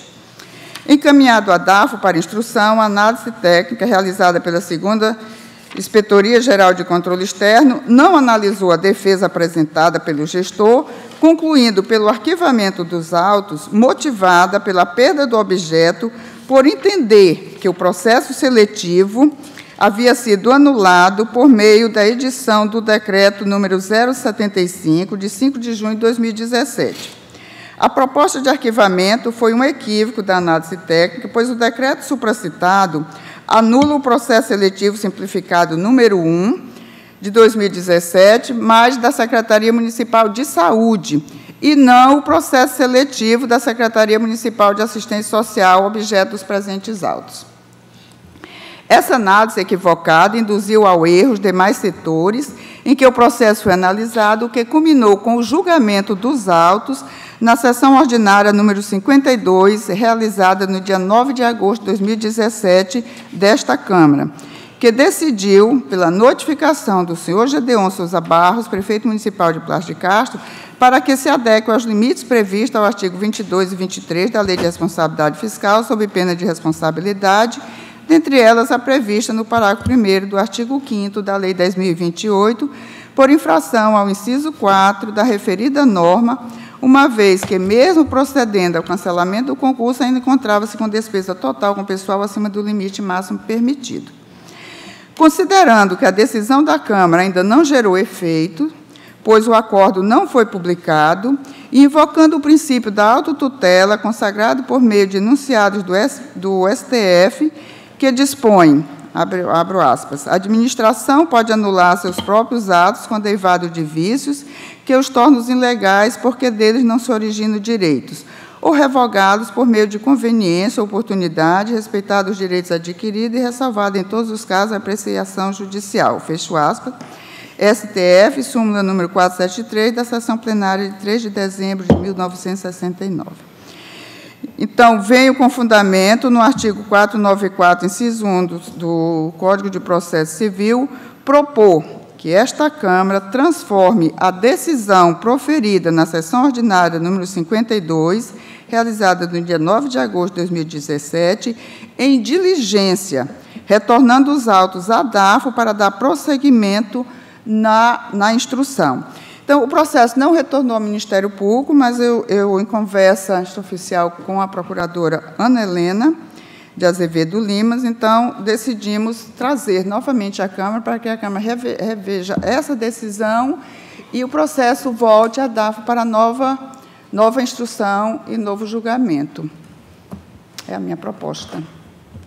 Pela ordem, conselheiro Antônio Malheiro. Excelência, eu entendo o princípio da tutela porque o erro está claro dentro do processo. É, houve realmente um, um, equívoco na hora de analisar e conduzir depois é, o relatório que levou à decisão desta Câmara. Então, nesse sentido, e pelo princípio da tutela, eu acato e acompanho esta, eh, este senhor, voto. Senhor presidente, antes. Mas eu acho que nós podemos ouvir a doutora é, Ana Helena também. Senhor presidente, assim, é, até eu, eu nem estava lembrando desse. Eu conversei com a doutora Jesus, mas, de certa forma, esse processo não retornou ao MP. Eu peço vista, senhor presidente, do processo. Esse pedido de vista da procuradora concedido. Prosseguimos agora com o processo 124.204. Continua com a palavra a conselheira Maria de Jesus. Obrigada, senhor presidente. Também peço é, para julgamento em bloco dos processos de número 81 ao 84. Prossiga. Então, o processo número 124 trata dos autos do relatório de gestão fiscal da Câmara Municipal de Tamatugo, referente ao primeiro quadrimestre de 2017, de responsabilidade do senhor Silvano Queiroz da Silva, presidente do Poder Legislativo. O processo foi analisado pela segunda inspetoria, onde relatou que o envio das informações foi tempestivo, a despesa total com pessoal também dentro do limite estabelecido. E quanto à transparência, os dados do relatório foram enviados ao SINCONF, cumprindo o que determina a portaria da STN. Houve publicação no Diário Oficial do Estado, contudo, os dados são divergentes dos enviados eletronicamente no sistema CIPAC o que seja devida à correção.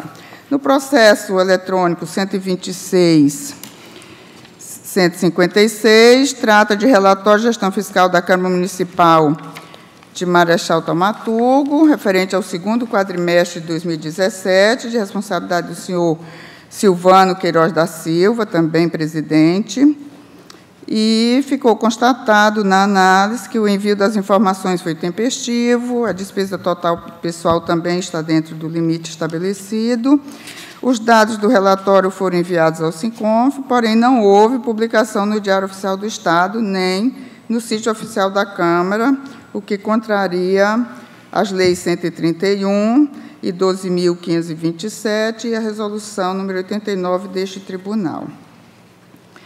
O processo número 126.150 trata de relatório de gestão fiscal da, da Prefeitura também de Marechal Taumaturgo, referente ao segundo quadrimestre de 2017, de responsabilidade do senhor Isaac da Silva Pianco, prefeito. A análise constatou que o envio das informações foi tempestivo e que a despesa total com pessoal no segundo quadrimestre foi calculada em relação à receita corrente líquida, representando 64,25%, o que extrapola o limite estabelecido na Lei de Responsabilidade Fiscal. Os dados do relatório foram enviados ao SICONF, é, porém, o relatório não foi divulgado no sítio oficial da Prefeitura nem no Diário Oficial do Estado.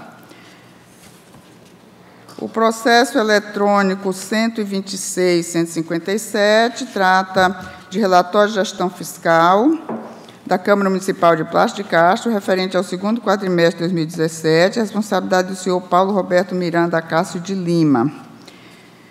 É, a análise também constatou que o envio das informações foi tempestivo, que a despesa total de pessoal é, está enquadrada dentro do limite estabelecido pela lei.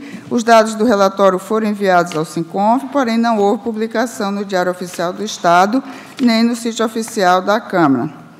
É, o Ministério Público de Contas manifestou-se em todos os processos. É o relatório, Excelência.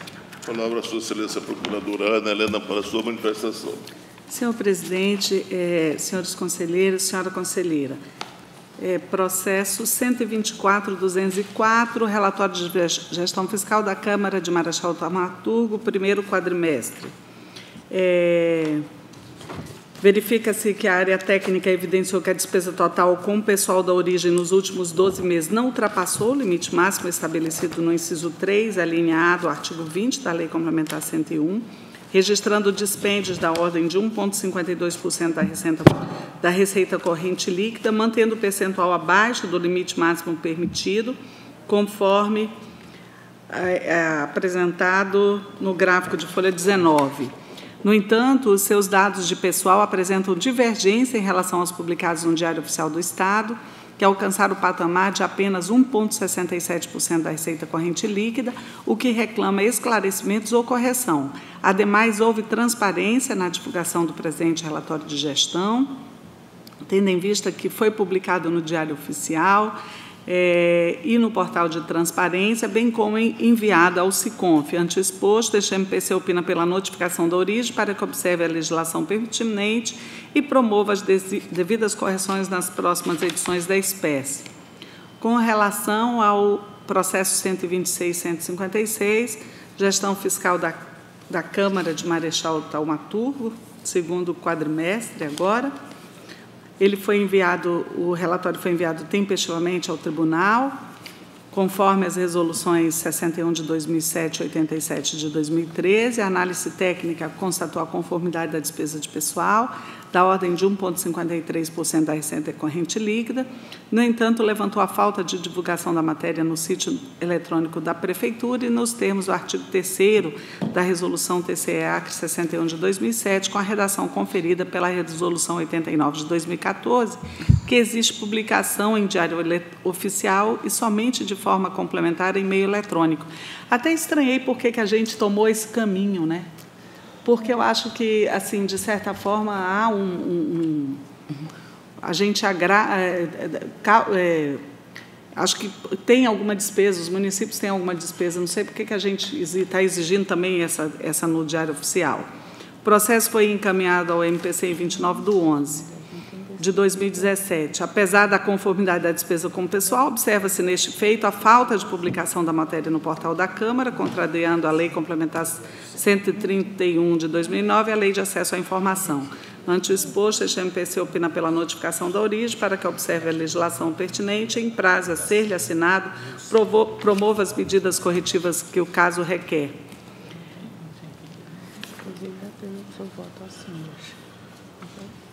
Deixa eu ver aqui, que agora, segundo quadrimestre, aqui tem alguma coisa errada. Deixa eu ver aqui. 126, 150. Isso. Ah, tá. Câmara, esse aqui é Prefeitura. Uhum. 126, 150, relatório de gestão fiscal da Prefeitura de Marechal, segundo quadrimestre. Ele foi enviado tempestivamente a esta Corte de Contas a análise técnica procedida constatou excesso na despesa de pessoal, da ordem de 64,25% da receita corrente líquida, com crescimento em relação ao bimestre anterior, estando o Poder Executivo Municipal em curso nas vedações do parágrafo único do artigo, do artigo 22 e obrigado a reduzir o montante dos gastos nos termos do seu artigo 23, todos da Lei de Responsabilidade Fiscal Ademais, levantou a falta de publicidade da matéria no sítio eletrônico da Prefeitura e nos termos do artigo 3 da Resolução TCA 61 de 2007. O processo foi encaminhado à este MPC em 29 de 11 de 2017. Observa-se neste feito o excesso na despesa de pessoal e a falta de publicação da matéria no portal, contrariando a Lei Complementar 131 de 2009 e a Lei de Acesso à Informação e em Diário Oficial. Antes posto, este MPC opina pela abertura de processo autônomo para verificar o descumprimento da redução do excesso da despesa com pessoal nos dois primeiros quadrimestres e pela notificação da origem para que observe a legislação pertinente em prazo a ser assinado, promova a publicidade do referido relatório sob pena de responsabilidade.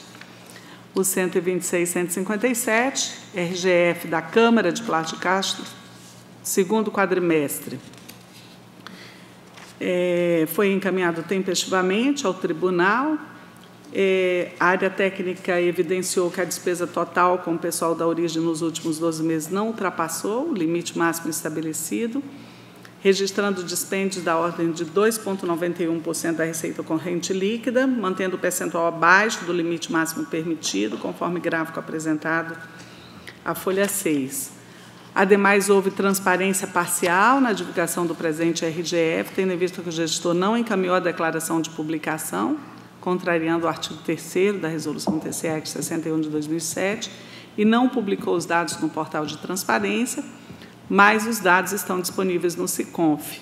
Antes exposto pela notificação do presidente da Câmara para que adote as medidas necessárias para a comprovação da publicação do, do RGF sob pena de responsabilidade. E, por fim, o, o, o 126, 106. Ele entrou, 126, no, no bloco? Não, ficou não. fora, né? Que é resumido. É, então, é próximo. Encerrado. São os pronunciamentos, senhor presidente. A palavra à sua excelência, a relatora, para seu voto.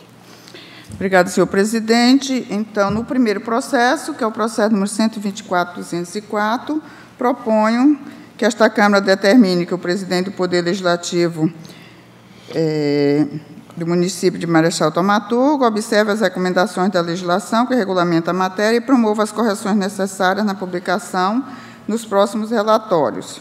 Determine a DAFA acompanhamento desta decisão e, após a formalidade de estilo, o arquivamento dos autos. No processo 126-156, também proponho que esta, que esta Câmara determine que o presidente do Poder Legislativo de Tomaturgo observe as determinações da Lei nº 131, de 2009, a Lei de Acesso à Informação, a Lei número 12.527 de 2011, da Resolução TCA número 89, e promova a publicação deste relatório no prazo de 30 dias. Determine a DAFA o acompanhamento desta decisão e, após as formalidades, o arquivamento dos autos.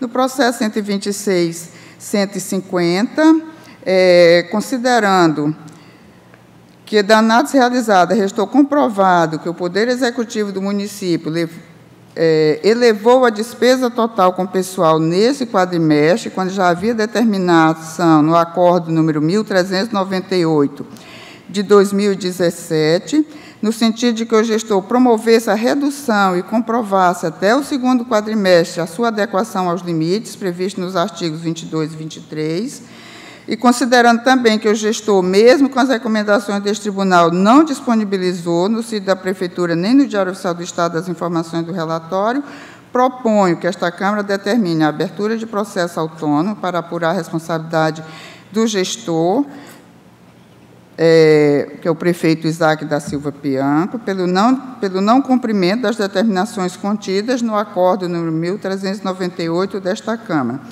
também determine ao prefeito que publique no prazo de 30 dias no, no sítio da Prefeitura e no Diário Oficial do Estado o relatório de gestão fiscal do segundo quadrimestre. Determine a DAFO que acompanhe o cumprimento desta decisão e o arquivamento dos autos após as formalidades de estilo. E, por fim, o processo 126.157 proponho que esta Câmara determine que o presidente do Poder Legislativo de Plácio de Castro observe as determinações da Lei nº 131, da Lei 12.527 e da Resolução 89 deste Tribunal e promova a publicação deste relatório no prazo de 30 dias. Determine a DAFO o acompanhamento desta decisão e o arquivamento dos autos após as formalidades de estilo. São as minhas propostas de voto. Em votação pela ordem, conselheiro Antônio Malheiro. É, excelência, eu acompanho a proposição de voto e tenho sempre feito isso, respeitando a posição de cada relator com relação aos relatórios. E, em função até da, da pronúncia da, da doutora Ana Helena, eu não tenho colocado a obrigação da publicação, porque temos entendido, é, lá no início, nós, é, é, como era publicado no mural, então, nós obrigávamos aquele protocolo de que eh, fosse oficializado à Câmara Municipal. A partir do momento em que isso tem sido enviado para o Tribunal de Contas e o Tribunal de Contas tem publicado no seu site, entendemos que a, a publicação está atendida. Mas eu acompanho o voto, como sempre tenho feito nessa linha. Conselheiro Antônio Cristóvão. Acompanha, relator. Mesmo pensamento, conselheiro Maneiro, acompanho o voto discussão unanimidade nos termos do voto da conselheira relatora, que continua agora com o processo 126.106. Obrigado, senhor presidente. Trato os autos do relatório resumido da execução orçamentária da Prefeitura de Cruzeiro do Sul, referente ao quarto bimestre de 2017, de responsabilidade do senhor Hilderlei Souza Rodrigues Cordeiro, prefeito. A DAF, em sua análise técnica, relatou que o envio das informações foi tempestivo, o resultado da execução orçamentária foi superavitário, a receita corrente líquida apresentou tendência favorável ao atingimento da meta estabelecida, o resultado nominal também tem tendência favorável ao atingimento da meta, o resultado primário foi superavitário, a manutenção do, é, do ensino atingiu o percentual de 13,21, evidenciando uma tendência desfavorável ao cumprimento do limite estabelecido pela Constituição em seu artigo 212. Quanto à aplicação de 60% dos recursos do Fundeb à remuneração dos profissionais do Magistério da Educação Básica até o quarto bimestre, o gasto representou apenas 54,25%, caracterizando também uma tendência desfavorável ao cumprimento dos dispositivos constitucionais e legais. Nas ações de serviço de saúde, o percentual aplicado foi de 20,34%, é, caracterizando aqui uma tendência favorável ao atingimento da meta. É, quanto à transparência, os dados foram enviados ao SICONF, foram disponibilizados aos CIOPs, porém não foram disponibilizados aos CIOPes, é, descumprindo a portaria 844 do MEC. O relatório foi publicado no Diário Oficial do Estado, número 12.148, no dia 28 de setembro de 2017, e é oportuno reiterar que os relatórios não vêm sendo disponibilizados no sítio da Prefeitura. O Ministério Público manifestou-se nos atos em pronunciamento do ilustre procurador João Isidro de Melo Neto. É o relatório, senhor. Palavra, Sua Excelência, Procuradora Ana Helena. Senhor presidente, senhores conselheiros, senhora conselheira, trata-se do relatório resumido de execução orçamentária da Prefeitura de Cruzeiro do Sul, quarto bimestre de 2017 de responsabilidade do senhor Hilderley Souza Rodrigues Cordeiro, prefeito, encaminhado tempestivamente a esta Corte de Contas em 28 de setembro de 2017. A análise técnica procedida constatou tendência desfavorável na aplicação de recursos na manutenção e desenvolvimento do ensino, contrariando o disposto no artigo 212 da Constituição Federal, tendo-se apurado até o período um percentual de apenas 13,21% da receita de impostos, sendo que o mínimo exigido é de 25% dessa base. Tendência desfavorável na aplicação do percentual mínimo de recursos do Fundeb na remuneração do, dos profissionais do magistério, em afronta ao disposto no, no, inciso 12 do artigo 60 da DCT da Constituição Federal de 88 e do artigo 22 da Lei 11.494, tendo-se apurado no período a aplicação de 54,25% dos recursos oriundos do fundo, quando o mínimo exigido é de 60% ausência de publicação da matéria em portal de transparência do município, bem como de envio dos dados ao Sistema de Informações sobre Orçamentos Públicos em Educação, Portaria MEC 844 de 2008. Ante exposto, este MPC opina pela emissão de alerta à origem, é, que atente para o descumprimento das despesas mínimas com manutenção e desenvolvimento do ensino, conforme o artigo 212 da Constituição Federal, e, e, e para o percentual mínimo de aplicação de recursos do Fundeb na remuneração dos profissionais do magistério, em efetivo exercício na educação básica, conforme preceitua o inciso 12 do artigo 60 do ato das disposições constitucionais transitórias e promova, em prazo a ser assinado, publicidade dos dados em análise no site da Prefeitura, nos termos do artigo 3 da Resolução TCE Acre 61 de 2007, bem como faço o encaminhamento respectivo ao CIOP, de tudo dando ciência ao Tribunal, sob pena de responsabilidade. É o pronunciamento, senhor presidente. Retorno a Sua Excelência relatora para seu voto. Obrigada, Excelência. Então, proponho que esta Câmara determine ao senhor Ilderlei Souza Rodrigues Cordeiro, prefeito municipal de Cruzeiro do Sul, que, no prazo de 30 dias, sob pena de responsabilidade, envie os dados do relatório resumido do quarto bimestre ao CIOP, conforme dispõe a portaria MEC, número 844 de 2008, disponibilize o sítio da Prefeitura na internet, publique os relatórios resumidos da execução orçamentária nos termos da Resolução TCA número 89, combinado com o artigo 8 da Lei 12.527. E deixo de propor o alerta, senhor presidente, em face de que nós estamos aqui relatando um processo referente ao quarto bimestre de 2017, que o exercício já foi encerrado e que isso agora seja observado na análise da prestação de contas. Então, após a formalidade de estilo, pelo arquivamento dos atos, é a minha proposta de voto. Excelência. Em votação, pela ordem, conselheiro Antônio Malheiro. Excelência acompanha a proposta. Conselheiro Antônio Cristóvão. Acompanha também, senhor presidente. Acompanho o voto. Destituição na unidade nos termos da voto da conselheira relatora. Encerrada a pauta de julgamento. Não havendo expediente, eu passo as comunicações e faculto a palavra à nobre procuradora, doutora Ana Helena. Nada a comunicar, senhor presidente, apenas é, desejar um bom dia a todos. Pela ordem, conselheiro Antônio Malheiro. Excelência, conseguimos ter uma pauta inicial de 85 processos, foram julgados 83, estão daí até o cansaço no final, né? Muito bom. É, cumprimentar todos os presentes, nada mais a comunicar. Conselheiro Antônio Cristóvão. No mesmo sentido também, senhor presidente, cumprimentar a todos, uma sessão muito provínqua e dar boas-vindas também à nossa procuradora aqui nesta Câmara, sempre, sempre de braços dados com a nossa procuradora. Conselheira Maria de Jesus.